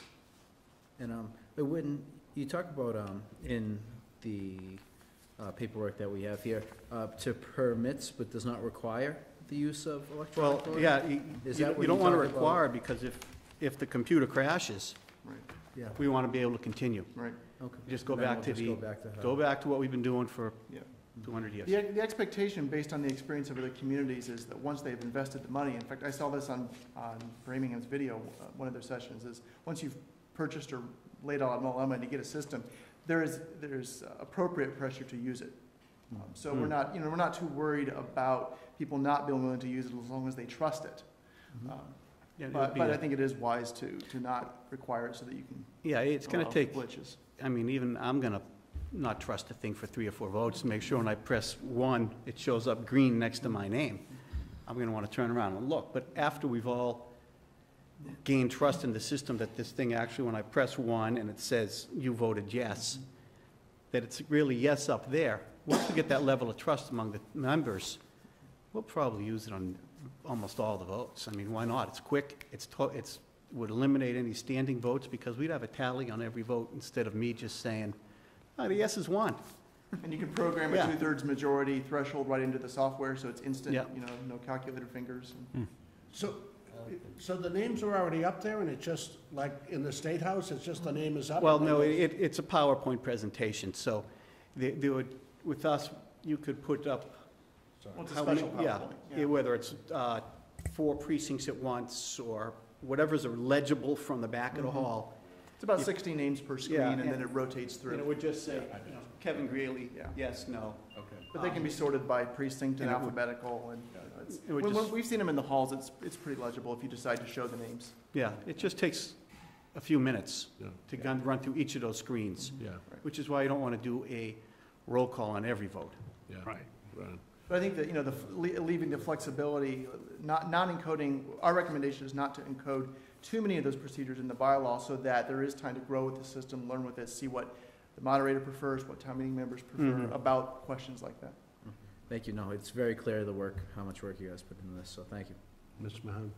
I just have five points, and maybe it's, leave it with you all and the town manager. Um, I'd like to see the RFIs that we received, and if it's too voluminous, just the summary at- at the beginning. I don't know, three, four pages. Yeah, I'd, I'd- I'd just like to see it.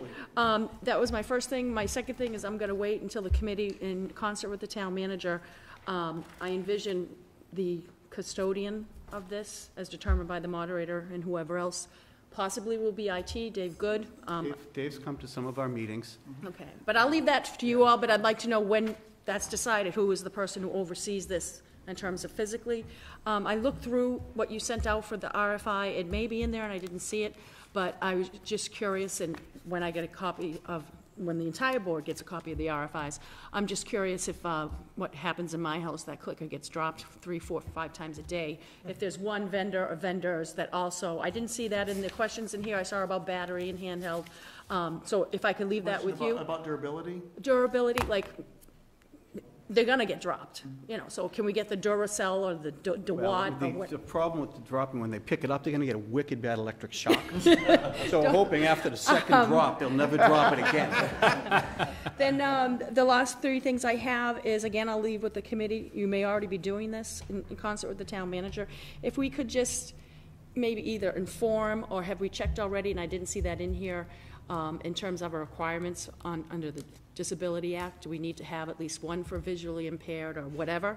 So if we could just investigate that, and I know the Commission on Disabilities has said, you know, we're here, we're here as a resource. Um, I don't know if that's, Yeah, we or we at the very least, if considered you that. could. That's a report- good point. Yeah, if you could send them a report or whatever. Um, um, Just because they sometimes feel like we're leaving them out of the loop, and, Mhm. you know, and we- we don't intentionally do that, but, so we're trying to get them in. And then the last two points, when you were talking about, this is an enhancement, I agree, talking about possibly, again, town meeting's gonna have the ultimate say on this, possibly eliminating the second vote. I like what Mr. Berger said, I think that was you, Eric, that we just want to Helmuth. enhance. Oh, Mr. Helmuth. I have- I have Beal, Berger, Helmuth, and, sorry. Um, uh, I'd like to not eliminate anything, I'd like to enhance it, as you said. Yeah. And then last, I would just be curious, after looking at the RFIs, it may be in there, and/or establishing who the custodian of it is, if there's any inherent program in the system that we ultimately purchase that sort of does, like what they do in labs and radiology labs, sort of a spot check, a program that just runs it on its own and, and checks it and says, I, I don't know if that exists in this technology. I know that they Oh, do. like- Like internal test data? Yes. See if the- Yeah, I'm sure. it I mean, but we don't necessarily have to do that, because you're saying it's gonna go on the website the next day, and the best person to look at that are the people who voted, and they can say, hey, I know I voted that Well, way. they have to But see I'm that just curious, sometimes they add a feature like that. Yeah, Sometimes- One of the, one of the devices that we're looking at, uh, the leading vendor That's in it. Massachusetts uh, offers a device that gives a confirmation on it, it has a little screen, and it confirms that you voted yes, no, or abstain, and, um, and that's positive feedback from the receiver computing unit itself. Mm-hmm. Um, So you know right away. So you which know right is- away if you've done that. Which is And- the one Sorry, we're Eric, kind of. Oh, no, no, it's quite, We- no, it's a very good question, and it's very, I think confidence in the vote is very Yes. important Mhm. for this kind of change in this kind of system. Um, Absolutely needs to be trusted. I'm all and for it, though, but thank you, yeah. Mr. Chairman. Okay, Mr. Curro. Thank you. Thank you for your, your uh, uh, work on this. Uh, I'm very excited, interested, and, um, and uh, appreciative uh, what you've done. I think you, you pointed to, to uh, one potential issue that I think we all know will be there is that technology, even fairly simple technology, can be fairly intimidating for some folks. It's going to be very important if we go down this road to have a lot of training for folks annually, because we Mhm. know that we have turnover, and, and I, and I think that goes without saying, I'm sure. My, in my little head in meetings, I'm thinking, can Ms. Fiore run this? Not that Elsie's technologically. Right, but you do need folks who have had I a mean, broad, a broad range of about yeah. experiences and Yeah. exposure to Every one different of our members technologies. use this, can they all, just and it- because it's like a TV clicker, and I think everyone has a TV, we all know how to press the button, but your point on training Absolutely. is ta- well taken, and the other towns have developed um, a Billerica video. has a video, They have a yeah. video Yeah, right on very their good. website, which, you know, we can do the same thing, Yeah. as well as Yeah. the first day. Everybody test your device, plus we're gonna wanna see that it works. So Yeah. we'll run a a mock vote. Yeah, very Yeah, good. No, excellent point. Very good. Um, uh, I just had one uh, question about what you've seen. I mean, you mentioned what happens if the system goes down. I get that. My bigger worry is if somebody, an individual, either forgets their clicker or it suddenly malfunctions during a vote and, and doesn't, doesn't record. Yeah, And, we have and some- making sure that there's some kind of a fail-safe or some kind of a way, a, um, a way that they can uh, be accommodated. Where the, no town allows the members to bring the device home. Right. Chelmsford, they- I think they're a little extreme. You give them your driver's license, you get your clicker. At the end of the night, you give the clicker back and you get your driver's license back. I don't I'm if not you for wanna- voter ID, so that's. Yeah. I don't know, I don't think we want to go that The, route. uh, the, uh, the the devices, we saw, we saw a fail, a fa- a failure of a handheld in either Framingham or Brookline, and um, the devices are secure, but they're hot swappable, so the ID is transferred immediately in the database. And um, so you, you buy, I think Lexington uh, is buying ten percent extra, you know, handhelds, just to, to have a reserve, so they're ready to go to be pressed into service if there is any kind of battery or, or I only worry about the scenario where you have a very close vote and, you know, Well, one or what two the- people, their their clickers failed and, and the What vote they've is provided closed. for is, um, if my device isn't functioning, you get the moderator's attention, mm-hmm. he holds the timing on the vote. He Okay. or she will hold the vote mm-hmm. timing Okay. until Mr. Corl gets a new clicker, he tested it right, Mr. Mm-hmm. Corl gets the vote, then we finish voting. and we can I'd expect the- a bunch of those at the beginning. Yeah. Yeah, right, and you can reveal the, the votes on the screen, it's another reason we may choose to do that. Mm. Yeah. Just so that you know that your vote has been recorded right there in that moment. Hmm. And a lot of the towns are doing that. Thank you. Uh, So do I understand then from your proposal that standing votes will essentially become obsolete?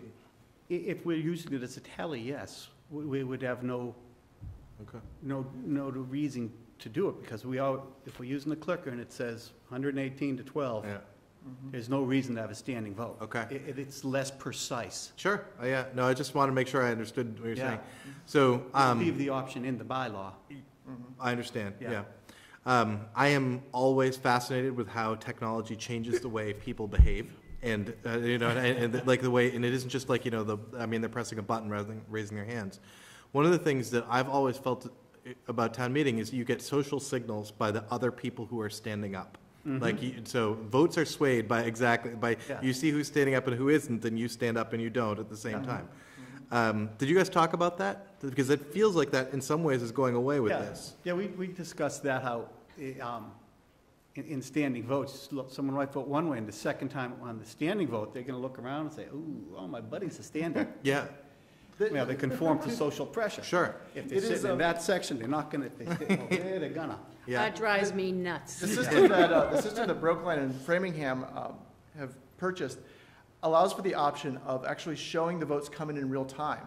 So there is some of that, that feeling, that if we want, if we would choose to do that, that you could wait, wait until you see how your neighbor votes up, up on the screen. Um, Other towns have decided to not show that until, uh, The until the votes are in. yeah. And I think that really does speak to the issue of culture. And, and, and I was pleased that that particular system is flexible enough to account for that cultural preference. Yeah, I guess I will encourage, I will say that I like be, the, the visual signals, and, um, I think that, uh, I agree that there's def- so definitely some times where it's like, you know, my buddies are doing this, and so therefore I'm gonna do it the same thing. But there are other times where I know that there's, um, a member of town meeting who has spent a lot more time on a particular issue than I have, or has a lot more knowledge about a particular issue than I do, and I would defer to their judgment, or at least their judgment would, you know, impact me. So I, True. uh, so, I- Yeah. um, they, I would, I guess I would, I, I would hope that we would go in the direction of, of permitting that to continue. Regardless, I'm supportive of the experiment, I'm supportive of the plan. I think you guys are doing great stuff, but I, I think, you know, I just want to talk about that. Um, I just do, do have one more question, which is, uh, so when will we actually see the proposed vote, like the actual vote of the change of bylaws? And, and just, so you know, my motive is so that we can have it in, so that we can approve it, so that we can have it in our report, and we can have that report in everyone's Well, those are two, two things I wanted to bring up. I, we, we have to finish debating how we're gonna finish it. Um, Mhm. um, Present the two different options, the reveal, not reveal. Then I'm gonna obviously work with Juliana on the final wording of it. I haven't given her anything yet, I'm holding it back. Um, Then I've got to bring it to the town meeting procedure committee. Obviously, they, it's their baby as well. They have come to one of our meetings, we've shared with them everything we've done so far. And at that point, when, I guess the three parties, Juliana, us, them, procedure committee, we could resubmit to you guys um, what, what our couple different options are, have you vote on it, and we were gonna ask if our report and our proposed votes could actually go into your packet. Are you gonna be able to get it done fa- in time? Oh, yeah. Okay. Yeah, What, uh, the Well, that's, what I was gonna- Marie, when would he need to do all of this in order for it to be printed in the selectmen's? And us to vote, yeah. I would say that it will go to, um, town meeting is the twenty-second, so, so probably, Um, Gene, Middle of April? thought Gene told me she wanted by the 12th. well, we'd like it, but, you know. Okay. Well, Well, I think wh- when's our last, Tell me the 12th, I'm better off. And Marie- when's, when's the last time you Yeah. guys can? when's our last meeting before that, though? Because April we have to. 6th?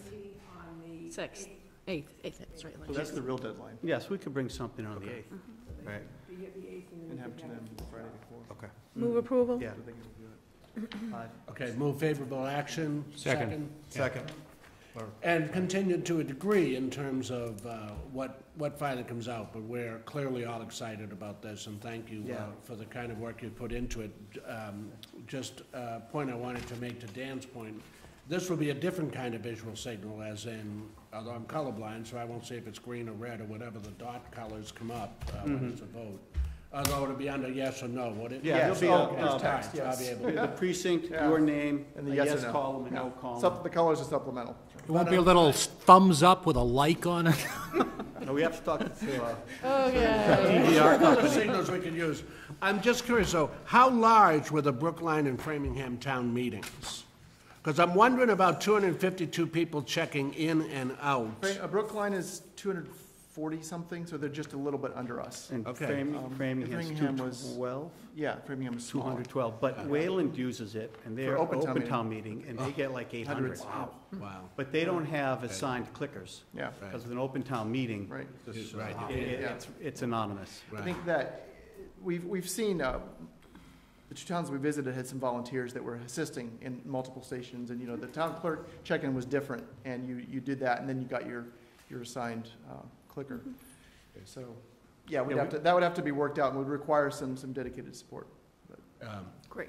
And uh, the visual signals, but the, uh, there'll be lots of speeches before we actually ever get to touch that clicker. So we'll, we'll certainly have a, have a, uh, an idea of our friends and colleagues, or those we admire or don't, and the speeches that they've given one way or another. So move favorable action by Mrs. Mahon, and seconded by, was that you, Stephen? I think Joe got it. Joe Raised it. Mrs. Curro. Uh, All those in favor, please signify by saying aye. Aye, all Aye. those opposed. Unanimous. Thank you very much. Thank you again. Thank you. Okay, the next is Article 13, which is a bylaw amendment regarding animal control regulations. But before we do that, uh, Jessica, I don't know whether you will be able to or not, but recently, um, in the selectman's office, if Kevin doesn't knock this over, Jessica, tell me if you can get that or not.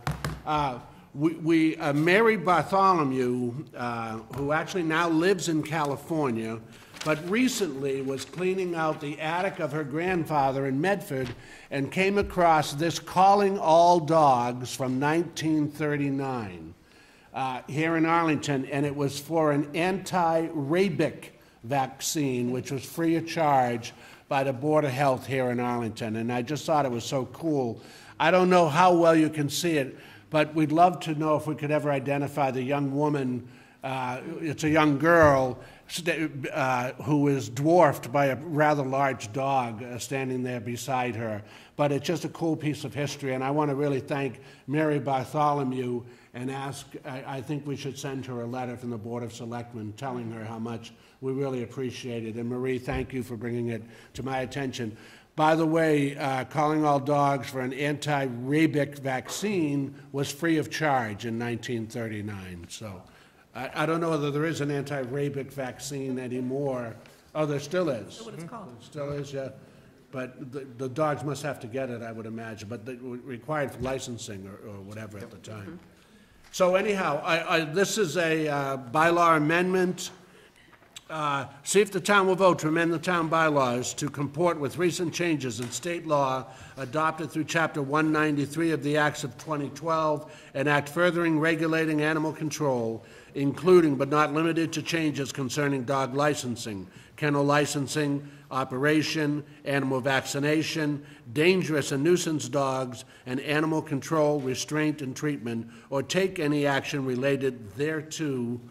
Madam Counsel. Thank you, Mr. Chair. Um, As the board will recall, uh, I um, was Is this off asked and- and granted uh, time on uh, a meeting agenda, I believe, in November, to explain an overview to the board of uh, changes in state law that went into effect at the end of October. They're fairly wide-ranging, and there were um, a number of discrete areas that it, um, have an impact on the town bylaws um, as they exist and in new areas. Um, Essentially, the areas of uh, dangerous and nuisance dogs, which this board is familiar with um, addressing those complaints. Uh, Dog licensing, there are some changes, many of which this town already does. For instance, um, requiring different fees for um, dogs that are spayed or neutered and, and dogs that are not. Um, Kennel licensing, which is a brand-new area. Um, There five different kinds of kennels under the law addressing, you know, types of businesses that we do have in Arlington. And um, uh, tethering dogs outside, which is a fairly um, detailed part of the law. Uh, There are other parts of the law that I did not uh, propose uh, putting in bylaws because they really are more back-end in terms of uh, funding for training for the animal control officer. This board's appointment of the animal control officer will do that separately, but it's not um, something that would ordinarily be in bylaws because doesn't pertain to conduct of um, of residents and how they um, handle their, um, their dogs. Uh, I want to point out at the outset that, that, that what's being proposed, there are no changes in um, off-leash dog parks or uh, off-leash hours or anything like that. There, there's uh, nothing in the state law that, um, that makes any change in that. In the um, red line version of the bylaw, and it's, it's very long, and I apologize, and um, it took me a long time, um, but uh, there are two minor changes in uh, section two of the existing bylaw dealing with the leashing of dogs. And those are just that the time period uh, that the animal control officer may hold a dog um, that is found to be at large is changed in the state law from 10 days to seven. And also, um, the daily uh, fee for uh, the animal control officer holding the dog for that period of time is raised in the state law from two, $2 per day to 40. Um, But other than that, there are no changes in the, um, in the leashing. Um, As I've stated, the, um, the changes deal in the areas that I've talked about. I did want to address one point uh, that Mrs. Mahon made, which was an excellent point. Um, In, in light of, if this board is considering uh, a complaint about a dangerous or nuisance dog, which the board currently does uh, through delegation of that hearing process to the police department, nothing would need change. That could continue to happen. But there are uh, much more specific definitions of what's a dangerous dog, what's a nuisance dog, and what remedies the board can order for either. Um, The biggest change is that the board, uh, no town, um, the board will no, will no longer be able to order banishment of a dog to another town. Um, and this board was not, uh, really in the habit of doing that anyway, understanding that that really did, um, in most cases, amount to a death sentence for the dog. It will create, um, hopefully it won't, but it could create the situation where, uh, this board would have to make more difficult decisions that rather than, um, shuffling a dog off to another town, um, the board, you know, would need to order that dog to be euthanized. But there are other, um, other remedies, interim remedies that the board can consider, which this board already had done in terms of um, requiring muzzling, requiring restraint of the dog, res- requiring um, um, increased training of the dog and things like that. And the board um, does have the authority to do that. I did want it, to Mrs. Mahon's point, um, following the um, uh, multiple attacks in, uh, I believe it was Marshfield, but it could have been Mansfield, um, over the past couple of weeks by one dog um, that had been ordered by the Board of Selectmen in a split vote to be euthanized, but had been returned to the owner pending the appeal period.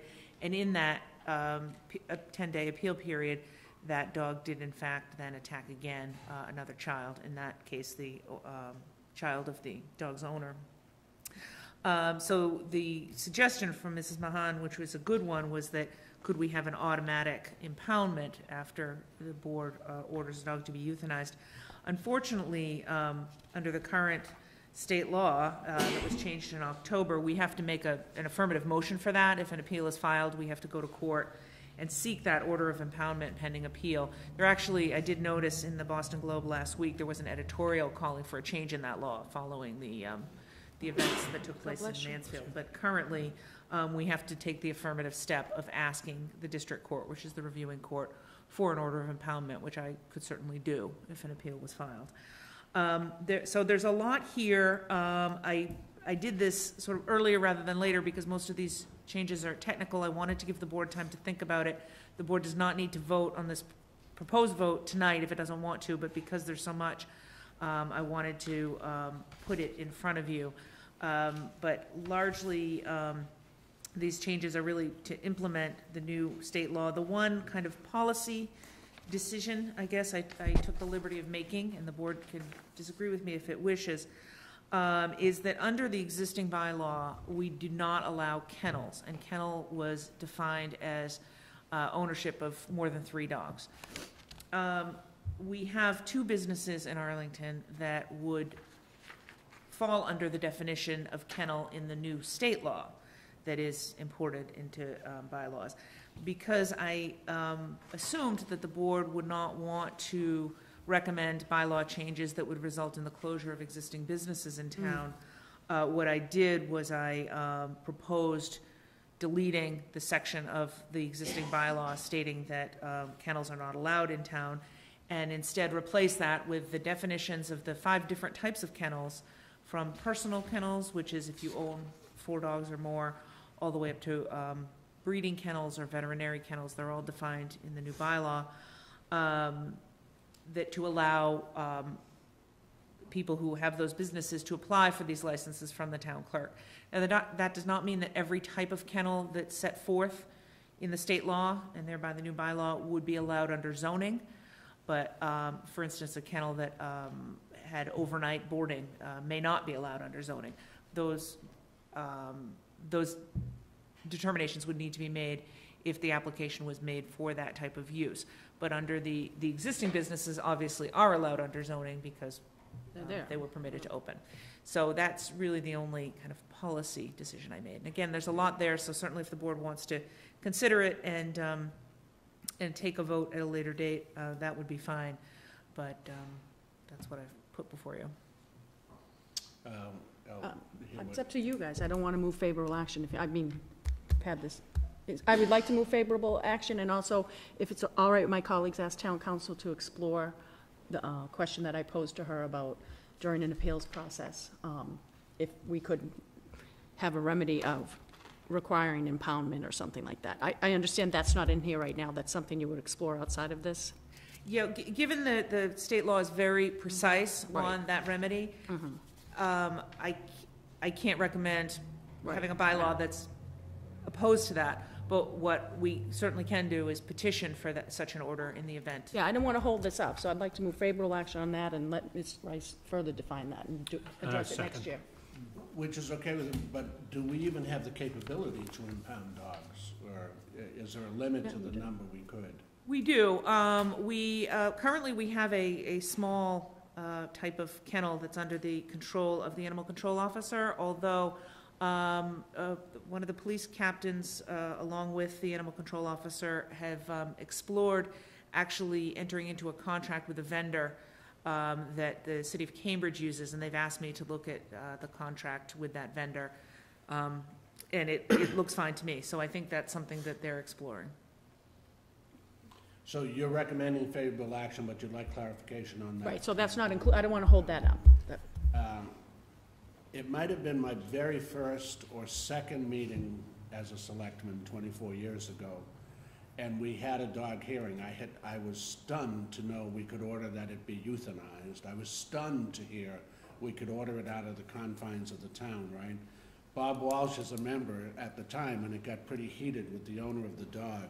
Bob Walsh finally says, I wish we could order the owner out of the confines of the town. Not yet, nor euthanized. I didn't know where to look, I didn't know what to say. And he- he immediately, Mr. Greeley, I was like, eh, eh, yes, whatever I was voting on. Uh, Okay, so move favorable, is there uh, more discussion? I, I'm ready to vote it. Okay.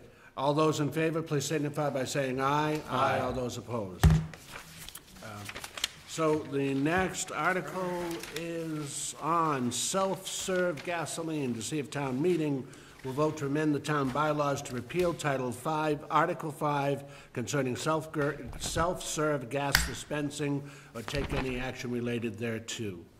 Uh, Is the sponsor here? Mr. Wagner? Yes, sir.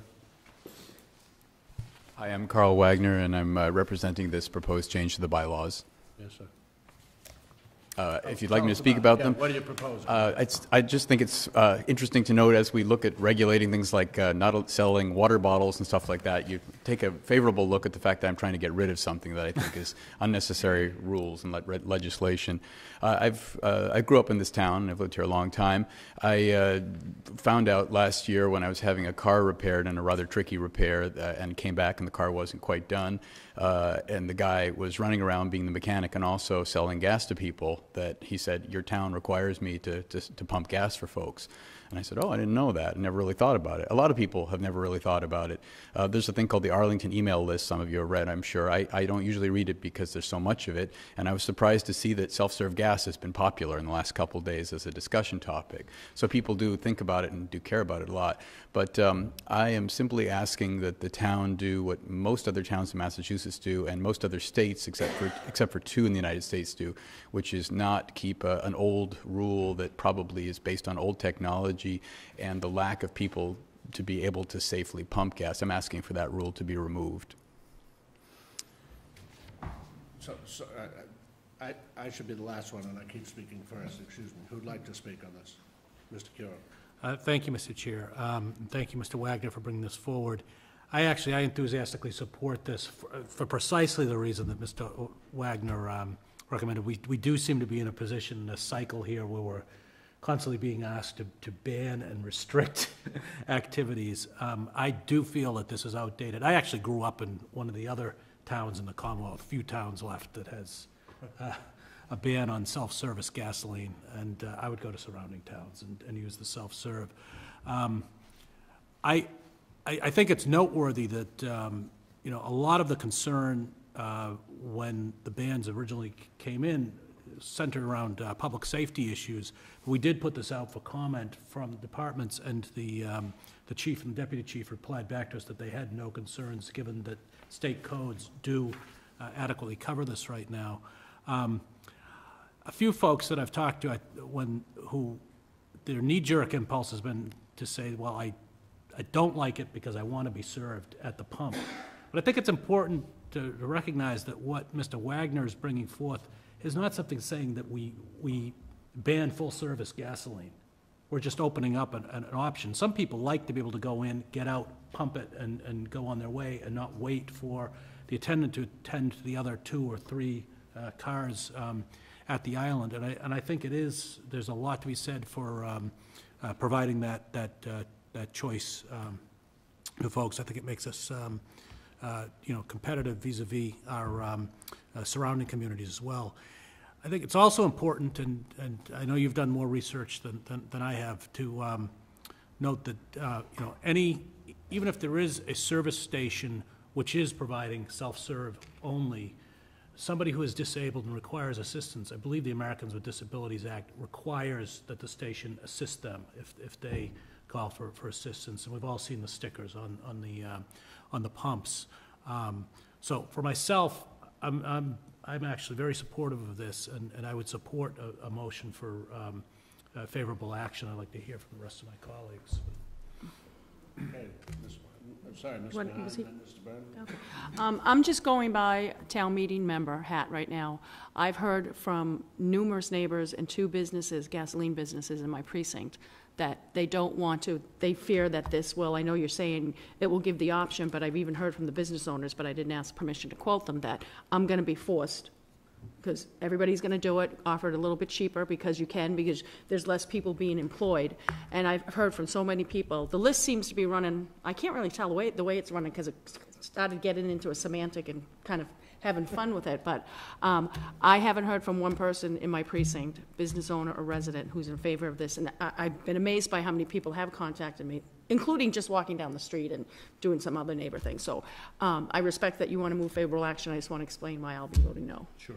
Could I, could I add a few comments to, to help people who are watching on TV and, and perhaps your opinions of what's gone before on this? Um, this was brought up, I think, in the 70s uh, as a ban, and then in the 80s, uh, people who are still in town were, were um, names that I saw on the record and discussing uh, a possible uh, repeal of the ban in the 80s. Um, everyone I contacted who was uh, attached to that in the 80s now unenthusiastically said they would not be against keeping the ban, uh, would not be uh, for keeping the ban. So I thought that was interesting. I also contacted most of the gas stations. There may be a couple I couldn't get, but I did, I did make three attempts to contact most of the owners of the gas stations.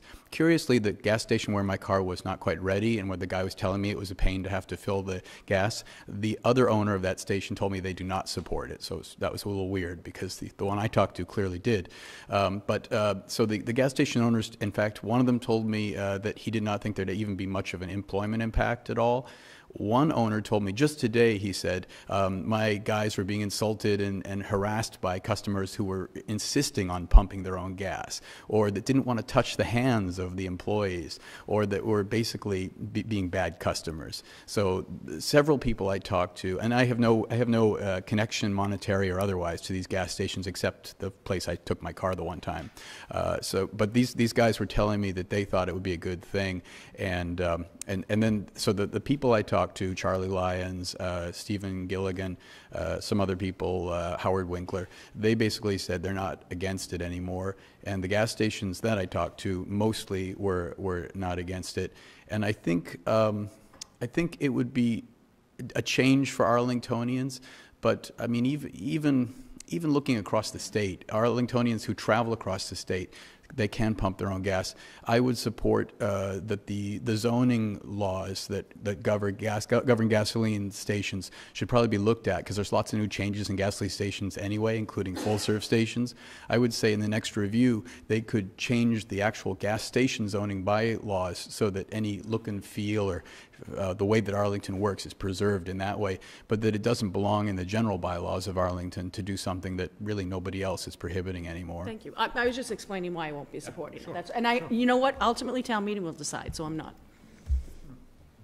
No, I, um, I agree with Mr. Curro, and, um, I do support this, as long as we can stay on top of those ADA requirements, because you do run into some gas stations where, you know, that, that someone is not really easily accessible to, you know, help out. And so if there is, and I think that, you know, our business owners will do a good job of keeping up with that. Um, so I, I do support this, and I think, um, you know, it's keeping up with the times to a certain extent. You see it happening everywhere else, and I think it's about time to make that jump, so, thank you. Uh, I'm going to support the motion that Mr. Curro is about to make. I move favorable action on the. uh, He he had already, but. Oh, did you actually? Well, I didn't actually put, place, uh, place the motion, so I move favorable action. You're saying that. I'm wrong? What's that? You're saying I'm wrong, that you didn't? No, I'm not. Um, I actually was also here with Mr. Lyons, Mr. Gilligan, and others. There were two differences between what, well, two things. One was the, that in the, it must have been eighty-nine, because that's the first year I was on the board, although I was a town meeting member before that, but the, the, uh, it, it was allowing for self-serve, but they also must keep a full-serve island. So this, what, if I'm understanding you, this would allow a completely self-serve gas station. Am I correct, Mr. Wagner? Uh, My intent is to remove the prohibition. However, um, the town of Mendon, seems to me to be a good example of what we might want to follow. Uh, Mendon, this last year, June, I think, uh, removed their prohibition that was in their general bylaws, and they asked their zoning bylaws team with the planning department, et cetera, to come up with uh, logical uh, zoning uh, bylaws that covered things such as they mandated full-serve gas, they mandated a maximum size, and uh, I was talking with someone today who told me that there's all sorts of TVs and stereo systems coming into fu- full-serve and self-serve gas stations. I would think we would want to probably prohibit those too in our gas zoning bylaws. So, see, so you're saying we can still do both? I would think that. my- Possible, I- I Yeah, understand, I, I would hope that my action does not make any negative change in the feel of how the gas stations fit into the community, and I would think that the zoning uh, bylaws should, should do that, that work instead of the general bylaws. Because I'm with you, I favor it hundred percent. My, my mother, who's ninety-two, not driving anymore, but in her eighties, she, she used to yell at my brothers and myself that we weren't pumping our own gas, that, and she did, you know, she, she, uh, had to teach me.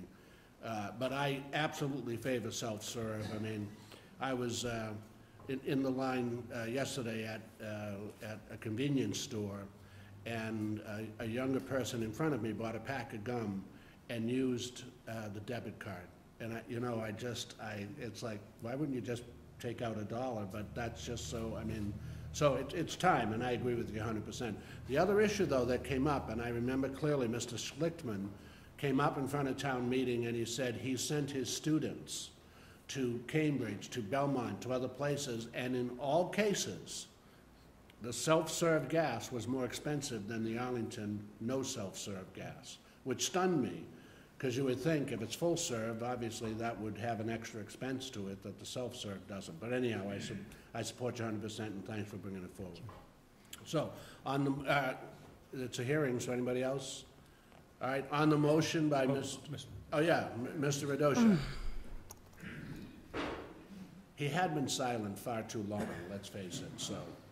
Robert? Bob Radosha, Precinct 11. Uh, Basically, I'm okay with this, but the thing is, I've been pumping gas for 53 years, or longer, whatever it is, yeah, more. Yeah, anyhow. So you And- don't shop in Arlington, Mr. Well, no, the, is the that what point, we're hearing? no, the point I want to make is really, you know, it's kind of silly, but I still think I like to do it in Arlington because somebody's being paid to pump the gas. It's a job, okay? That, that's the part, and I make an effort to do it whenever I can. Now, if I'm going to go buy all self-service, I'll go to Woburn where I can buy it for a nickel less, you know? So it, it's, that, that's my take on it. And the other thing is, uh, if you could turn it off so I can say something, but my wife has no idea where the gas tank is. and she wouldn't know the first thing about doing it. So that, that, I, I worry about how that's going Joyce to work out. Radosha, please call the selectmen. Yes, okay, all right. So, Immediately. yeah. that, that's simply my take on it. And but like I don't have a problem pumping it. I think it's great. But uh, on the other hand, I hate to see somebody lose a job because of it. Okay, thanks. Thanks. And I think a station would be wise to do both, but we'll see the way the bylaws come out. But the first thing we would have to do is remove this, so they're allowed, period, right? Okay. Uh, So who seconded? Sorry. Second. Second. Uh, All those in favor, please signify by saying Town aye. counsel is- Oh, town- whoa, whoa, whoa, whoa, yes. Not going to Town stop you, counsel. just point of clarification when I go to rate the board's vote. Um, I think what's been proposed under this article is the just straight repeal Yes. of the, of the existing prohibition. And I can write it that way, but a couple board members have mentioned, you know, wanting to keep full serve. Um, if we don't write it into the proposed vote, it's gonna be gone. I mean, Mr. Wagner makes the point about, um, zoning bylaw changes, those could happen, but they wouldn't happen till next year at the soonest. I did actually, upon re- reviewing his materials that he submitted, um, I did check, uh, the Mendon zoning bylaws, and, um, there's actually not, there are certainly restrictions on size and things like that, but there's actually not a restriction requiring, um, the, uh, retention of full-serve gas stations. And if a zoning bylaw were changed next year, it wouldn't necessarily apply retroactively. Although Mendon does do its gas station permitting the same way that we do, which is by special permit through our redevelopment board. So, So, my question is, do you want me, in writing this proposed vote, to, rather than a straight repeal, um, amend it to repeal the prohibition, but also require that a full-serve option be retained? I'm not sure in the board's position on that. My, my intention with my motion, Mr. Chair, was just strictly to, to do the repeal, and my reasoning for that is that I, I don't feel comfortable putting that additional restriction on because we do have stations of different sizes, and some of them are only one island stations, and, and, um, but that was my intention. I don't know about the rest of the board. well, um, so if I'm following what you just said, Juliana, I know it's hard. um, so we just repeal it. Let me just pretend for a minute. We only repeal it. Right. And we wait till next year to do any zoning bylaw changes. But what you're saying is if a station has gone completely self-serve before then, they cannot then be mandated to have to put in a full-service island as well. Correct. Or full-service side to one island. Correct. Hmm. I'm still no, but- but, Yeah, well, you've been no all along, 'Cause right? that's- So yeah. that doesn't change, right? no, no, I just, I saw faces, that's all. I just-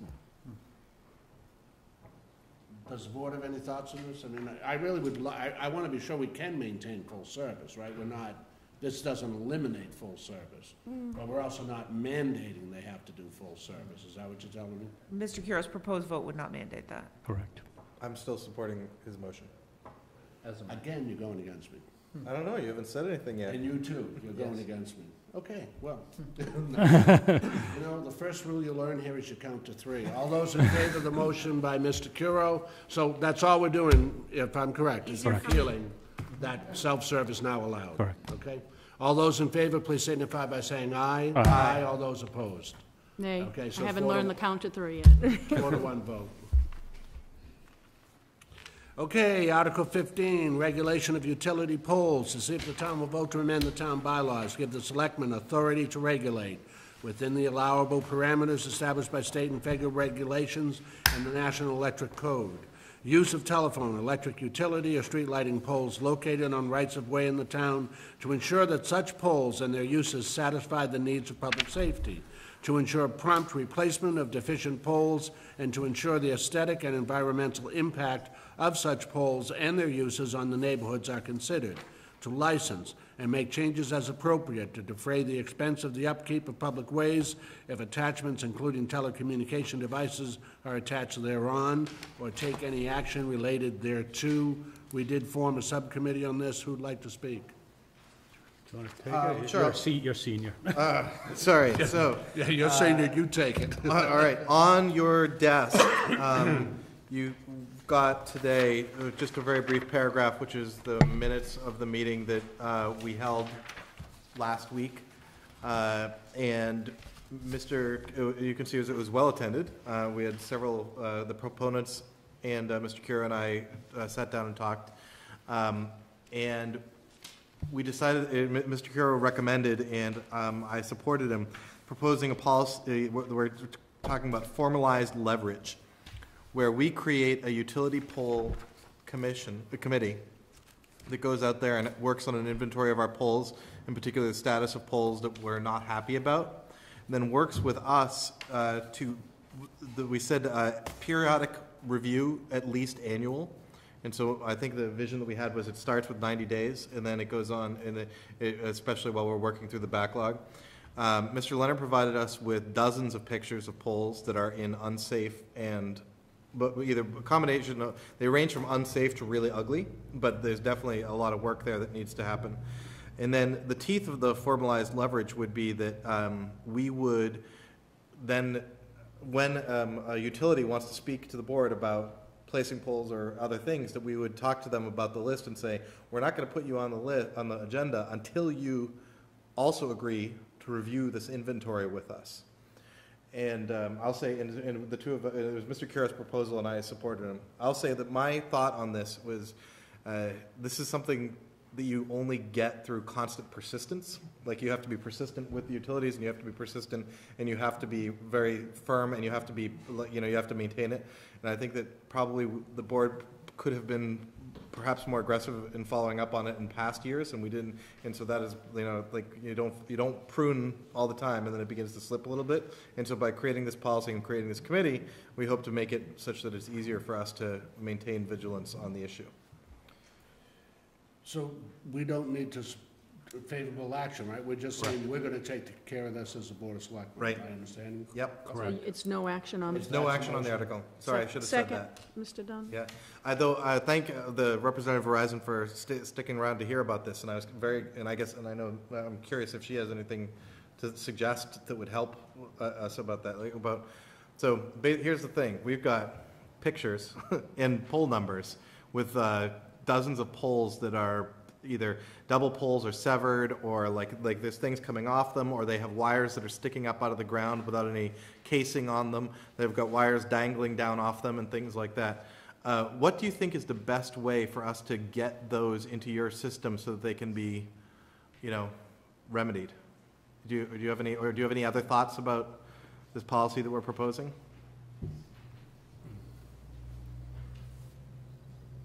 We have, um, let me first ask you, did you have any representatives from the utility companies at your? Oh, at that meeting? Nope, uh, we haven't yet. So I'm not, I, all I'm Well, saying, like, that- I mean, that would be I've the got a first list. step- Yeah, that would be the first step. So All right, here we are. I've got a list of poles. What do I do with them?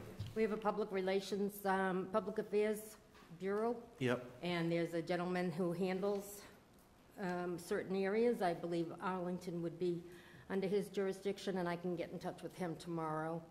Okay. And ask him to contact, would it be um, the town manager or dir- uh, one of you directly? I was actually gonna ask- And they can set up a meeting and possibly then contact the, um, both NSTAR and Yeah. um, Verizon. Uh, Verizon is the maintenance setting company for Arlington, Mhm. although the poles are jointly owned by both N-Star and Verizon, Okay. in most cases. I was going to ask the exact same question. Uh, Adam, do you think is this, uh, what, what do you think is the best way for us to handle, like, hearing the proposal, hearing about this committee, which I think you heard about before? I have, I How, what do you, what are your thoughts? I, I think this proposal is, uh, I would say, as, as good as any to begin a formalized Yeah. process for trying to get the utilities in the room and use any leverage we have to get them to listen and begin to address the problems. Okay.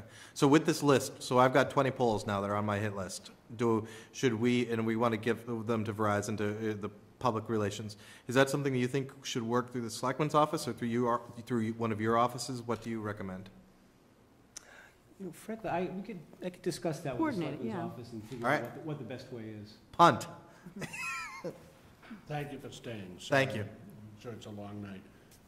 I'd I'd like to say I wholeheartedly endorse this. I've spoken with Verizon and N-Star um, union workers about this very issue, and they've said that it's really low priority.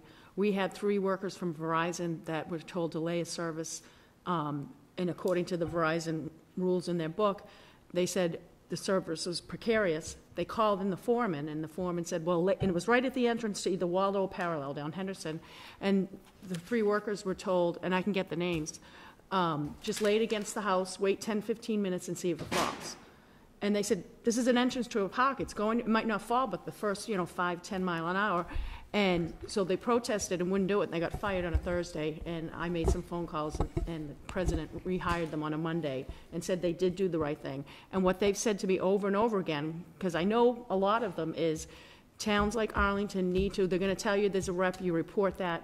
We've gotten the list of poles, some are four, five, six, seven years old that they've been out there. Yeah. And you're saying 90 days, to me, that's a dream. I think this is the way to go, um, and I support it wholeheartedly, as well as working with the representatives from Verizon. But I've heard from the workers, we need to make it a priority to management for them to make it to the guys and gals in the street. Yeah, If I could, if I could just, just put just the topping on this, I mean, we're really thinking of, of a, of a formalized process. So um, I think that we actually have three actions to, to, to take tonight.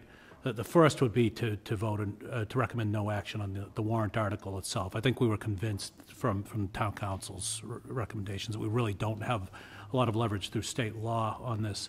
I think the second would be to appoint a, a utility pole. I, I think it's really a working group because they have a very specific function. This isn't make up your own agenda. This is your very specific function is at least once a year compile an inventory and bring it to the board of uh, of selectmen. So I think that that the second action we have is to. Um, to authorize the creation of a utility pole working group. I'd recommend five citizens at large and that, that we advertise for that. And then the third is to, to um, ask town counsel for assistance in drafting um, an actual policy. And as, as Dan s- stated, the idea that we had is that on an annual basis, representative from the utility, so it'd probably be one representative from each of the utilities, if they're sharing jurisdiction, would come before us and actually respond point by point on each of the lists. And if they say, we haven't, oh, we haven't gotten to this one, we haven't gotten to this one, we haven't got, well, a picture starts to emerge. They say, yes, we've addressed this one, we've addressed this, this is the reason why there's an issue. Picture also starts to emerge uh, there, and that we adopt as a policy that we do not place anything on our agendas unless there's a vote of the board for, for a, for a, a matter of uh, specific public ur- urgency. And I think we had a good example of that tonight. The Thompson School, obviously, moving a project like that along is a, is a matter of public urgency. Uh, So I think those are the three actions that we have tonight. Um, So who's got the list of 20, and where does it go? So, yeah, so the actual, um, I, I I thought about that, so the- it's currently uh, on the back of the pictures. Um, that, so Mar, I, uh, John Leonard gave us a stack of pictures. I handed it to, uh, uh, Mary Ann, so I know Mary Ann has it. Uh, we should go through and flip through them, and he wrote down the locations and the pole numbers on the back of each one. Do you think we could type those, that li, generate a list from those pictures? And then let's use that list and let's take it up with the, um, representative jointly with the town manager. And that will be the start of, the- you know, that's the, I mean, we don't have to wait for the first inventory, we can Right. start with that list. Absolutely. So could I move first uh, that we recommend no action on, on the warrant article before us? Second. All those, right, all those in favor, please signify by saying aye. Aye. All those opposed, second? I move that we uh, create a utility pole working group, which is charged with uh, creating an inventory at least once a year and presenting it to the Board of Selectmen of uh, utility poles and wires, um, whi- which are uh, de- deficient either um, uh, i- in their maintenance or, or safety, um, consisting of uh, five residents at large, and that we advertise uh, forthwith for those positions. Second. Okay, discussion? Should, shouldn't there be a selectman on that committee of five? I don't think we can legally do that. Yeah, I think we Because ultimately, we, we get the information presented. Jesus, okay. Yeah, yeah. I can't imagine, but I, I, I think it's, uh, it's, it's very good if we have, because five citizens could break up the town into sections and do a You bet. walkthrough once a year or something. I think that's. We had three interested citizens on eight AM on Wednesday morning, Yeah, so. Mr. Leonard, look what he did already, you know, after. And we could always put it on the website, report if you have a double pole. So, All right, all those in favor, please Uh, signify. did- Was it seconded? Second. Yes. Yeah, I thought, I'm Okay. sorry. Uh, all those in favor signify by saying aye. Aye. All those opposed, and your third one? Uh, My third motion, I move that we request town counsel assist us in the drafting um, of a policy uh, whereby we uh, at least annually receive the inventory to be prepared by the uh, utility pole working group, um, and um, that we uh, not um, place on our agenda any requests from uh, the the NSTAR or or Verizon each year until we have heard a response to that inventory publicly at at a at a meeting. Unless otherwise overridden by a, a uh, vote of the board. Second? Well, I, I, there's too many problems with what you just said for me to support that personally, uh, at this point, but I love the concept of it. So what I'd rather do is, if we're asking her to put together the policy, let's wait until we have her put together the policy Okay. and then vote on it. But I'll you know- withdraw my motion and, and just, just. Well, I'm ju- uh, no, uh, I- just, just make it to, to instruct and then to bring it back to us, because I think it's a very, and I'd love to use these first twenty as a test, okay, so what, how are we doing it? But, but it's quite a step to say they can't come before us and we won't approve anything unless those poles, are- they've appeared public, you know what I mean? There's a lot of stuff in there We've gotta, I, I, I agree. we We'll gotta put town some- counsel word it that we Yeah. have the Yeah, we- we option gotta put to. So I- I'll withdraw my motion, say I move to uh, request the town counsel assist in the drafting of a it. policy that reflects the discussion that has taken place here this evening. I need to yeah, caution on that move, ba- basically because, again, I- earlier I mentioned that it's kind of like a state right for the utilities to be in the public way. And when, and the only reason we're coming in the public way usually is because somebody has asked for service. Right, a We're resident. required to provide service, we're providers of last resort, and then one of your constituents is gonna be delayed in either their home or their business. Yeah. And um, then how do you choose which person you're going to penalize in their project or their home in order to um, correct an issue, say, in another precinct of town? Right, okay, thank you. So I've, ge- I I guess I've generalized the motion and we Right, can respond okay. to the- and- Right. We're not against it, we just want to Yep. do it in, in such a way that uh, we have the authority to do it, but uh, I love this, you know, let's, let's do a tally of it, you know, uh, uh, once a year, and, right, is is that Yeah. what was? And we understand that Mr. Hurd had actually started a process li- like this. It's just with, with time, I, th- I think Yeah. uh, it needs He to be was- He was revisited. like a dog on a sock and double poles for a while there, I'll tell you, so. All right, so moved and seconded, further discussion. All those in favor, please signify by say, saying aye. Aye. All those opposed. And could you have that done by five o'clock tomorrow, please? uh, No Julia? problem, no problem. Um, Ay, ay, ay, ay. no, probably even after town meeting, I would imagine, this year. But the twenty, we should get work started on, I would think. I think so. I think it would be good if we could provoke, report progress by town meeting.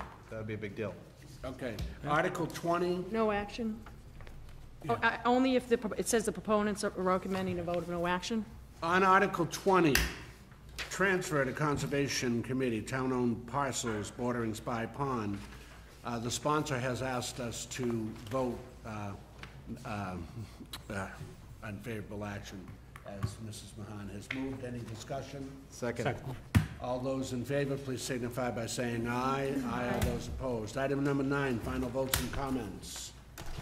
Thank you. Thank you. Thank you, Ms. Kelly. Final votes and comments, is there a motion? Mr. Chair? Yes. Excuse me, I'm sorry to interrupt. If I could just clar- uh, clarify a couple of things on this.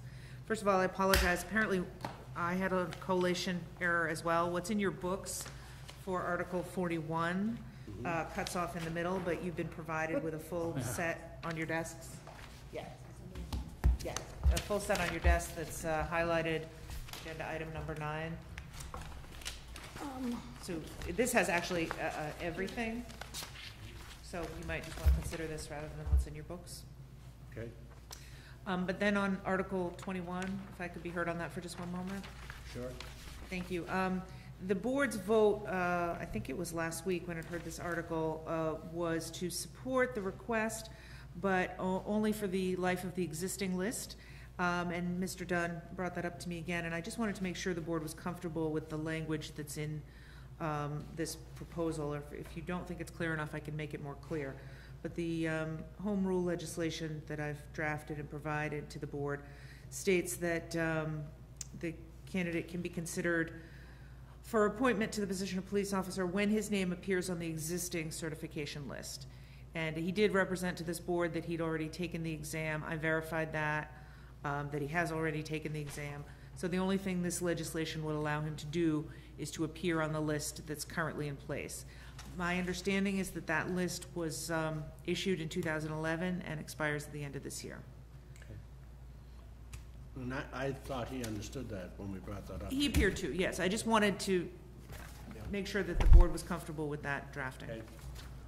Motion? Uh, I move approval, and I will say that I, I was the one who was concerned about the, whether or not the language was clear enough. Now that's been explained to me, I'm totally satisfied. Second. I have a question. I, Julian, with, by the time, if this list ends this year, and by the time the legislation is actually passed, would, could the legislation be too late for him to actually appear on it? These are usually passed in the summer. Uh-huh. Um, The list is in place until December 31st. Okay, so What there I've is been some told. So if, if there are appointments off that list, would be, um, you know, you would be eligible for any, uh, the way it's written is that the legislation would take effect immediately on its passage, Okay. not um, the usual 90-day waiting period. Mm-hmm. Uh, um, I'm sure you know better than I do, but, um, so that when it went into effect, um, the proponent could be considered. Now, if the board wanted to lengthen that, it could, or, you know, if he were not appointed and wanted to come back for an additional consideration, he could move for that again. But I think it's, it's been standard practice over the last few years to allow um, consider, one consideration. Okay. No, I'm, I'm comfortable. I just wanted to make sure that if by the time, if there was, there was a chance that he might not not even be able to make the list, and then he went through this for, you know, nothing. But no, I'm comfortable with that. And your motion, Mr. Dunn, was on both 21 and 41? That was my intent, is that appropriate? Yes, sir, sure. And Uh, I- Who I'm- Seconded. Seconded. Further discussion? I'm sorry if I can be a bother. Okay. I just wanted to point out um, that uh, a no- a highlighted note to the board on uh, 41, which is the, the table that's being provided is a very preliminary table of easements. That is going to change before town meeting, so I just wanted to make clear that, that the board knew that. Yep. Yep. Okay. Okay, Thank you. Uh, And just so you, we often uh, vote, final votes and comments all summed together, so, because we've already had the hearings and certainly uh, it's been explained. All those in favor, please signify by saying aye. Aye. All those opposed. Okay, so now, item 10, discussion, town manager evaluation. Um, Adam said if he had a walk from Atlanta today, he would have just to be here for this discussion this evening. Late fall, even really, it was late summer, early fall. Um, Adam, uh, if I'm remembering the dates right, but he asked us to uh, hold a couple of off-site meetings at which we discussed uh, goal setting with him. Uh, Both we had our input, and uh, he also uh, provided a lot of input on that. And part of what came out of that meeting is that we were to develop um, an evaluation system for Adam. He'd like to establish a formal evaluation for his direct reports, but felt that what he'd like to do is see kind of the board's approach to how we would evaluate him, and, uh, uh, and then from here, he'll, he'll develop his own. So Adam helped us, uh, so did uh, Caryn Malloy, our Director of Human Resources, and they gathered examples for us, which uh, they gave to us, and then we together kind of came up with our recommendations and developed a document which was handed out, I believe, two weeks ago.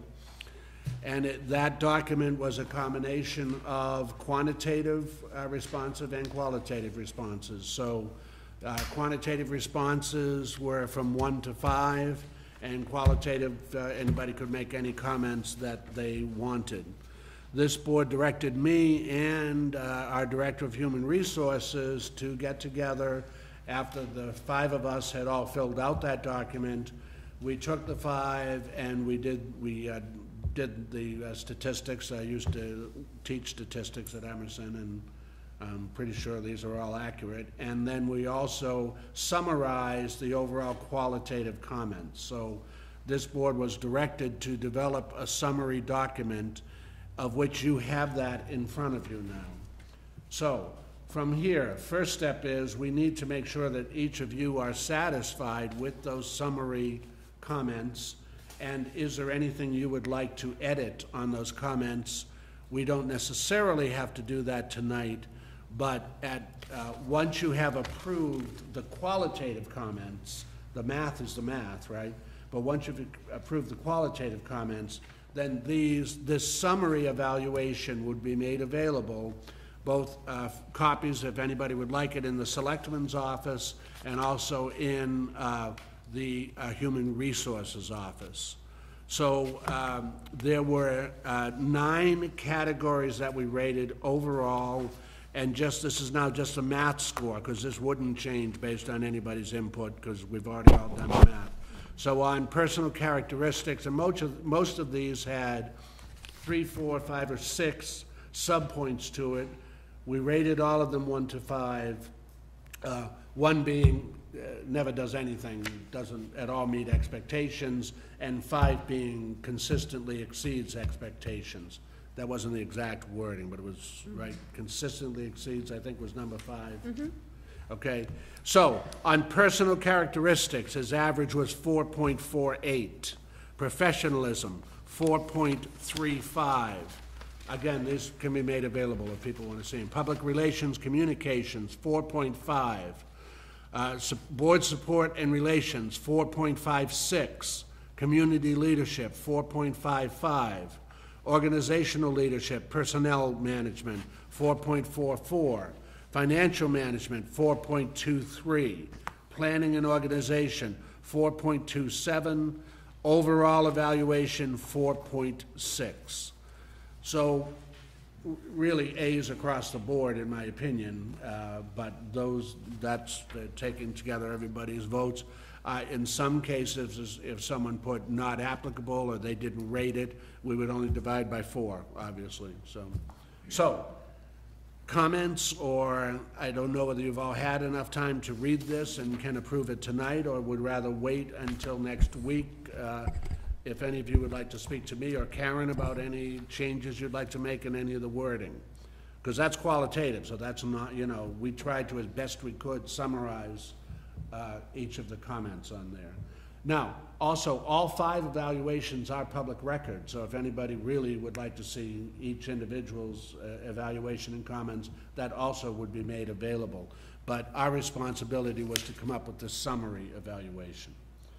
Did I go off track anywhere, Adam, and your, anybody, any, Mr. Dunn? I'm comfortable with the compendium that you put together. I think it, um, I, I- as far as like, I feel like my views are very well representative, represented by this document. And I echo that sentiment, and uh, Sounds good to me.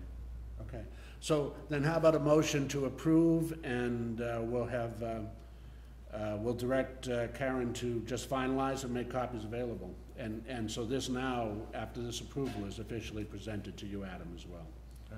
Right, okay? Can I make a general comment? Yeah. Uh, So, uh, it's a kind of, crack, I, I was a little bit amused when I read this report, because uh, when I looked at the numbers, I could do the math, and I could say, this means that I was perhaps one of the harsher critics numerically of, of the, of the town manager.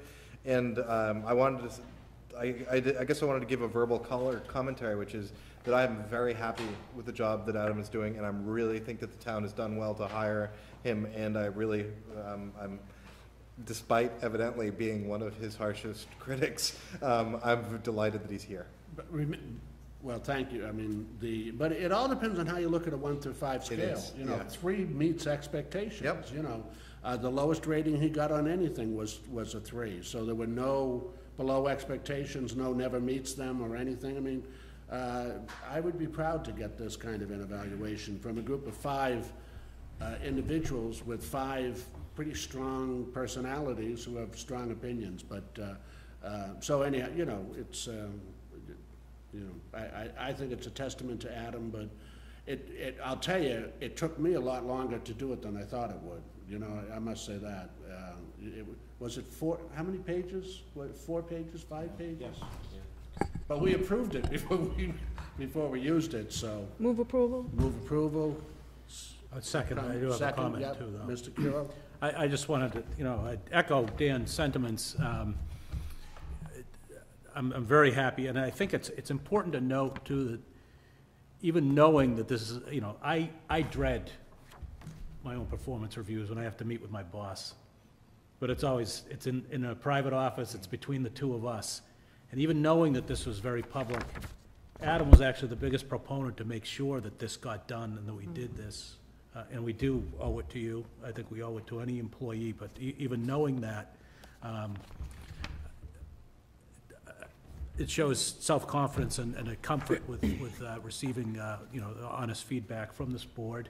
and I think you've gotten it, and I think you should be proud, and uh, I think, I, for for one, I look forward to working with you many more years. So, And suggestions were made, too. It's not like it was, uh, you know, everything's uh, perfect. Uh, One of the points one of you made uh, was that, you know, uh, when we look at Adam, we have to look at what he does day to day.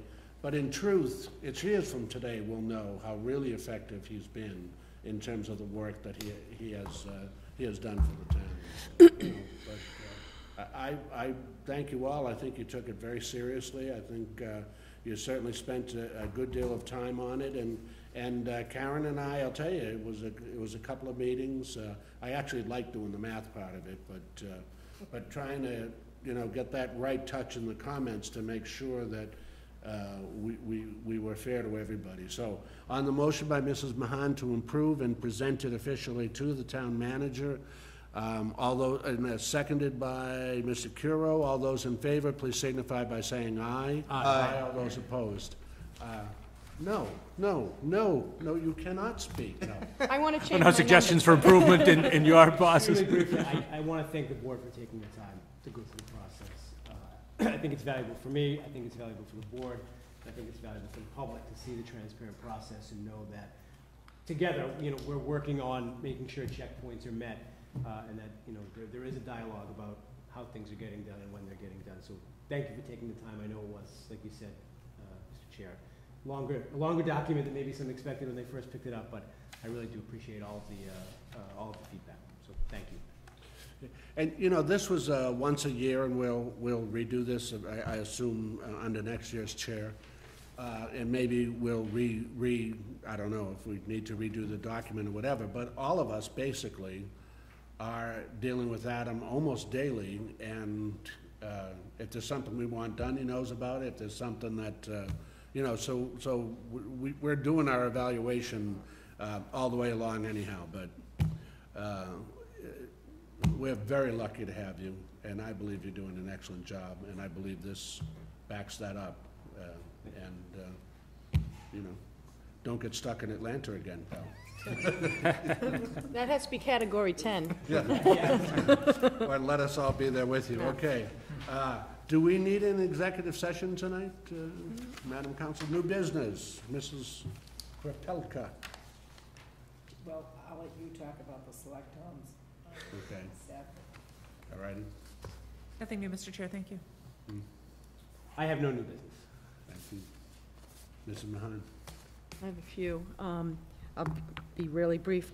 I'm going to work with the Selectman's Office with my colleagues' approval at the March 18th um, meeting to have a proclamation for Autism Month in April. We've done this every year, um, as well as highlight that the police and fire guns and hoses uh, benefit Friday night, um, the 15th at 7 o'clock down at the Ed Burns Arena. Um, The proceeds go to autism research and support, so, um, and they've done that for several years now, so it's, so I'll compile that and get it, and it should be a quick item. And then throughout the month of April, or- maybe at the beginning, I'll highlight two or three things, going blue again and stuff like that, that the credentials and everything goes on.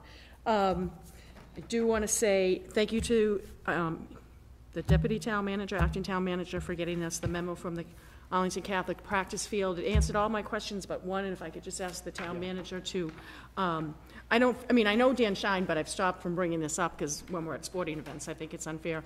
Um, The resident um, that abuts the practice field now, um, originally, there were a lot of trees there that sort of buffered him from the old practice field in um, Summer Street, Bob Baterio.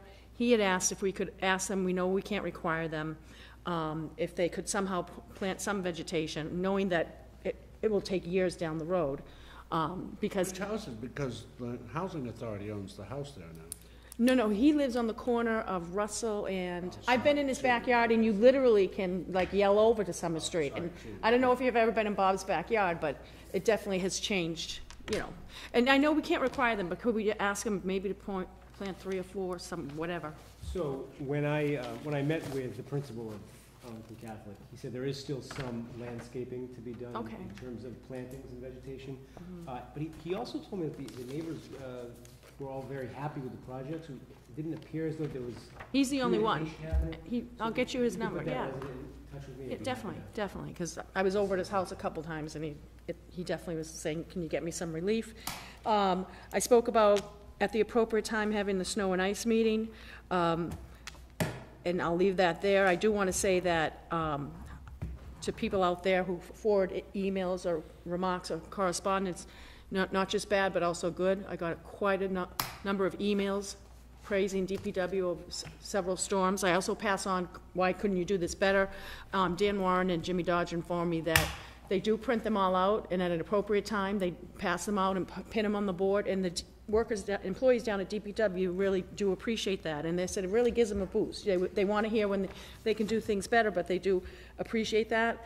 Um, I would just ask the town manager when he thinks it's appropriate, um, and that falls into my second thing, Arlington High School will be hosting the league competition in the fall for cheerleading. Um, I've had some conversations with Rob Di Loretto, uh, in terms of purchases we'll have to make, but I've been in three leagues now, Greater Boston, Dual County, and Middlesex, and I've yet to find a high school that I can say, oh, Arlington's ca- can beat that in terms of aesthetics. So I don't know, I know uh, permanent town buildings discussing, you know, five, ten years down the road, but if there's something, especially where we're hosting, at least that, I'm sure there's gonna be some other sports, because eight has come up, Woburn was the last one. Um, That, that would be appreciated, and like I said, I'm also speaking to Rob Di Loretto, who's doing a fabulous job. And then the last thing would be, and if you could get us a report when it's appropriate from permanent town building, sort of when they plan on discussing Arlington High School, and, and Mr. Carroll may be able to help that too, in terms of when they expect it to go into the capital plan. And then the last thing is, and I, the manager can correct me if I'm wrong, I was speaking to Linda Hanson on Sunday, and she brought up about the comparative pay evaluation, that's what I'm calling it, I'm sure it's not. And, um, I think what she indicated to me was that it went out to bid, only one, uh, group s- supplied an RFP, so she was told that, you know, we need at least three. And I think it went out to bid a second time, but I think the rule is if you go out a second time and you still don't get three, you get to move forward. And I believe she told me that she had a conversation with you, or or was gonna have continuing conversations with you and the unions about reporting something to town meeting this year. Is that right, or? So I, I. And if I misspoke, that's my not remembering correctly. What I'll say is, I, I owe the board an update on, uh, on the salary study working group. There has been a consultant hired. so Oh, someone he has been hired, to hired, start okay. collecting the data. Um, I guess, I was never familiar with there being any report to town meeting, uh, but rather a report to the board and finance committee, and then the information would be public. Whatever, um, Uh, but that information over the next couple months will start to be gathered, that salary study group will be brought back together, meet with the consultant, um, and then the information will be gathered and shared. So that should come together in the next two months. That's fine, because I was told we started this process like possibly a year ago, and I'd like to, but that's all my new business, thank you, and I apologize. Mr. Byrne. No new business. Mr. Curro. Uh, Yes, just a few things. Um, First of all, I just wanted to congratulate the um, Friends of the Robbins Library and and the Arlington Garden Club on their Books in Bloom event, which they held the other night. Um, You know, a lot of us, we go into the library and and we're going in to do our business, and we don't get a chance to really stop and enjoy the building and take it in, and this was such a great opportunity to do that.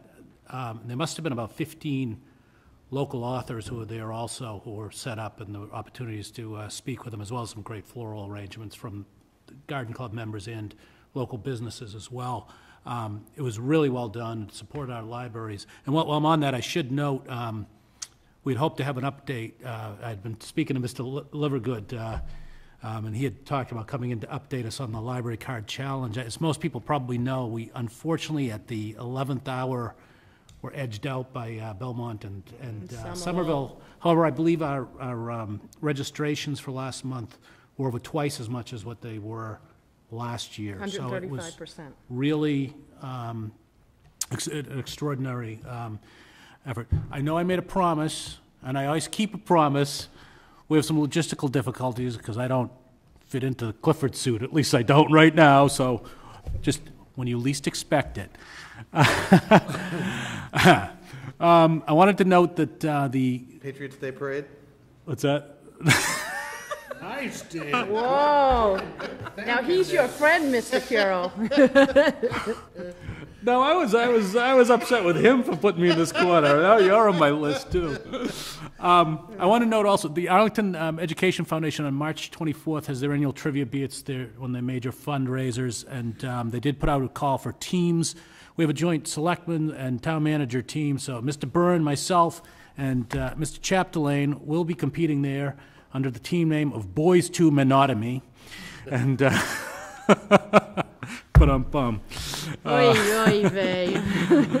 um, You have They knew the music. I didn't, so that's. you have to do better than we did last year. So uh, wish us well. There are a lot of good folks who are uh, who are uh, there.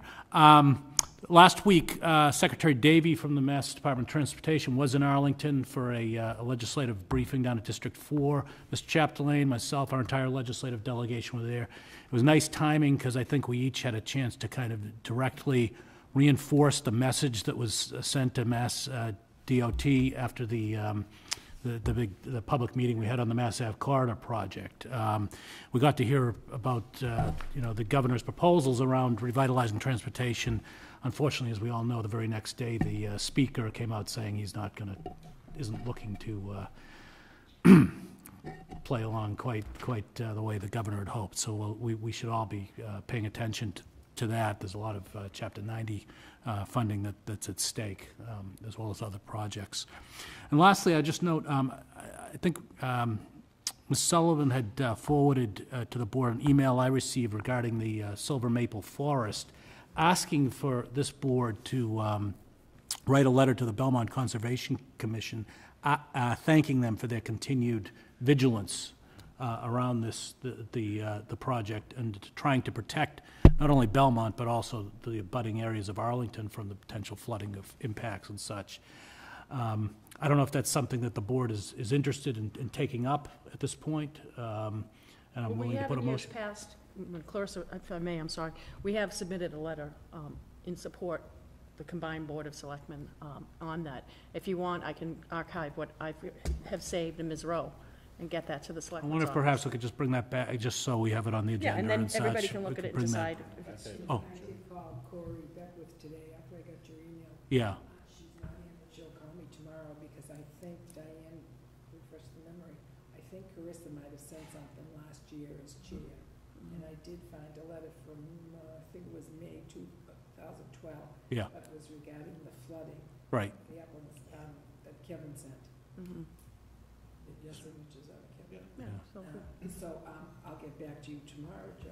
We have, um, a letter from Chris and we could send something again to Have the whole board sign it. Yeah, if there's some general consensus, maybe we should bring, yeah. bring forward something the next, We've always endorsed their Silver Maple Forest, and the Belmont Board of Selectmen Yeah. have done our MUGAR stance, so it's Yeah, sort yeah, of been a collegial thing. yeah, so maybe I can, maybe you and I can work on this with, with uh, Marie and bring something forward to the board next time. Okay, which That's is all a I- week from tonight, yeah. Yeah. Okay, Mr. Dunn? Are Uh, all set, Joe? Yep. Yeah, Mr. Dunn? Uh, two items tonight. Um, start with the bad news, then go with the good news. Um, in our packet, we have, um, a letter from the federal government that says what we expected was gonna happen, which is the sequester, um, of the funds being done at the federal level directly impacts our CDBG grant, and our, co- so our community development block grant has been reduced by five percent for this year. So, uh, I can't say that we're surprised by this, but it's, um, you know, it's a, it's a, it's a problem. And we, I mean, we're gonna have to manage that, uh, through the CDBG fund. I will also say that, uh, so the CDBG subcommittee had its first meeting two, three weeks ago or something like that. And we sat there and we went through the list of programs and we each like kind of took a shot at like defining the one that we think should be reduced and then was argued out of it by everybody else at the board. And because it, it's one of those things where it isn't even just a matter you're deciding like, you know, who get, who doesn't get increased. You, I mean, there, there need to be cuts and obvi, and the- we've chosen all these programs because we think they're all worthy programs. And so one of the things that I'm really intent on is as the federal government's funding for this um, is reduced, one of the things that's kind of natural is that the town starts taking that on. But that doesn't really scale either because for the town to do it, we have to increase, for us to provide more services, we need to increase our taxes more. And so one of the things that I'm really trying to figure out is identifying specific programs on that list and finding the private solution that we can get in order to donate to some of these. And so um, at the meeting, both Adam and Steve and I took on specific groups that we are connected with or have knowledge of that we think we could persuade perhaps to take a program off the book of the CDBG and hand it off to the private foundation. So I guess I would encourage the board to think about, A, when we're, I mean, we're going to take a vote on the CDBG funds at a future date. It's going to be unpleasant and it's going to be very difficult. And insofar as that we can identify private funds to hand some of these programs off, so we can sit there and say, you know, look, this program is still going to continue, it's just happening on a, you know, essentially we're doing a handoff from a federal government to private. I think uh, we should all think about that pretty aggressively. All right, that was my bad news. Um, my good news is that today I had a fascinating meeting. Uh, Annie LaCourte can put together a team, uh, um, Involution Studios, which is directly across the street, and uh, Seeing the Truth, Graphic Insights into Arlington Budget for Everyday Citizens. They're interested in helping create a interactive online representation of the budget that you can kind of drill into and you can see like where the budget money goes and where the money comes from and stuff like that. Uh, Alan Jones from the Finance Committee, Kirsi Allison Ampe from the School Committee, myself and Andrew Flanagan were there, plus three people from uh, Involution. And it was the, by far my most fascinating meeting today. And our goal. I have so many things I could say. Other than this one, Mr. Greeley. Uh, It was my most interesting meeting before 11 o'clock today. Um, I'm still not gonna say what I'm thinking. uh, Fingers crossed, we might have like a first draft of something available for uh, town meetings when we come around to budget time. And it may not be that we can do this year's budget, but we may be like retroactively looking at last year's budget. But it's one of those things that uh, it, it has, it's it's one of those, it has potential to be really exciting. And um, it's being, you know, it's a gift from the co- company across the street, so I'm very excited about it. Wow. Will they bring it here to show us, or will we? We would definitely, I, I think, we'll see, let's see how it goes. Like, I mean, this, I'm doing, I'm doing something a little dangerous and I'm talking about it before we even really started working on it. We just had a kickoff meeting. And so who knows, in eight weeks, I'll be like, what? I don't remember anything about that. But, uh, hopefully, I, I'm, we'll be able to publicize it before town meeting. And see where, uh, yeah. Good, great. I shouldn't say before town meeting, excuse me, before we get to the budget section of town meeting. Like, I, I think, well, town meeting will have started. It's just that the budgets are generally later on. That's it. What's that? Uh, Two quick ones. One is, uh, this Saturday, the, um, I got an invitation for an open house at the Old Schwamb Mill. Oh, yeah, yeah. But I can't make it.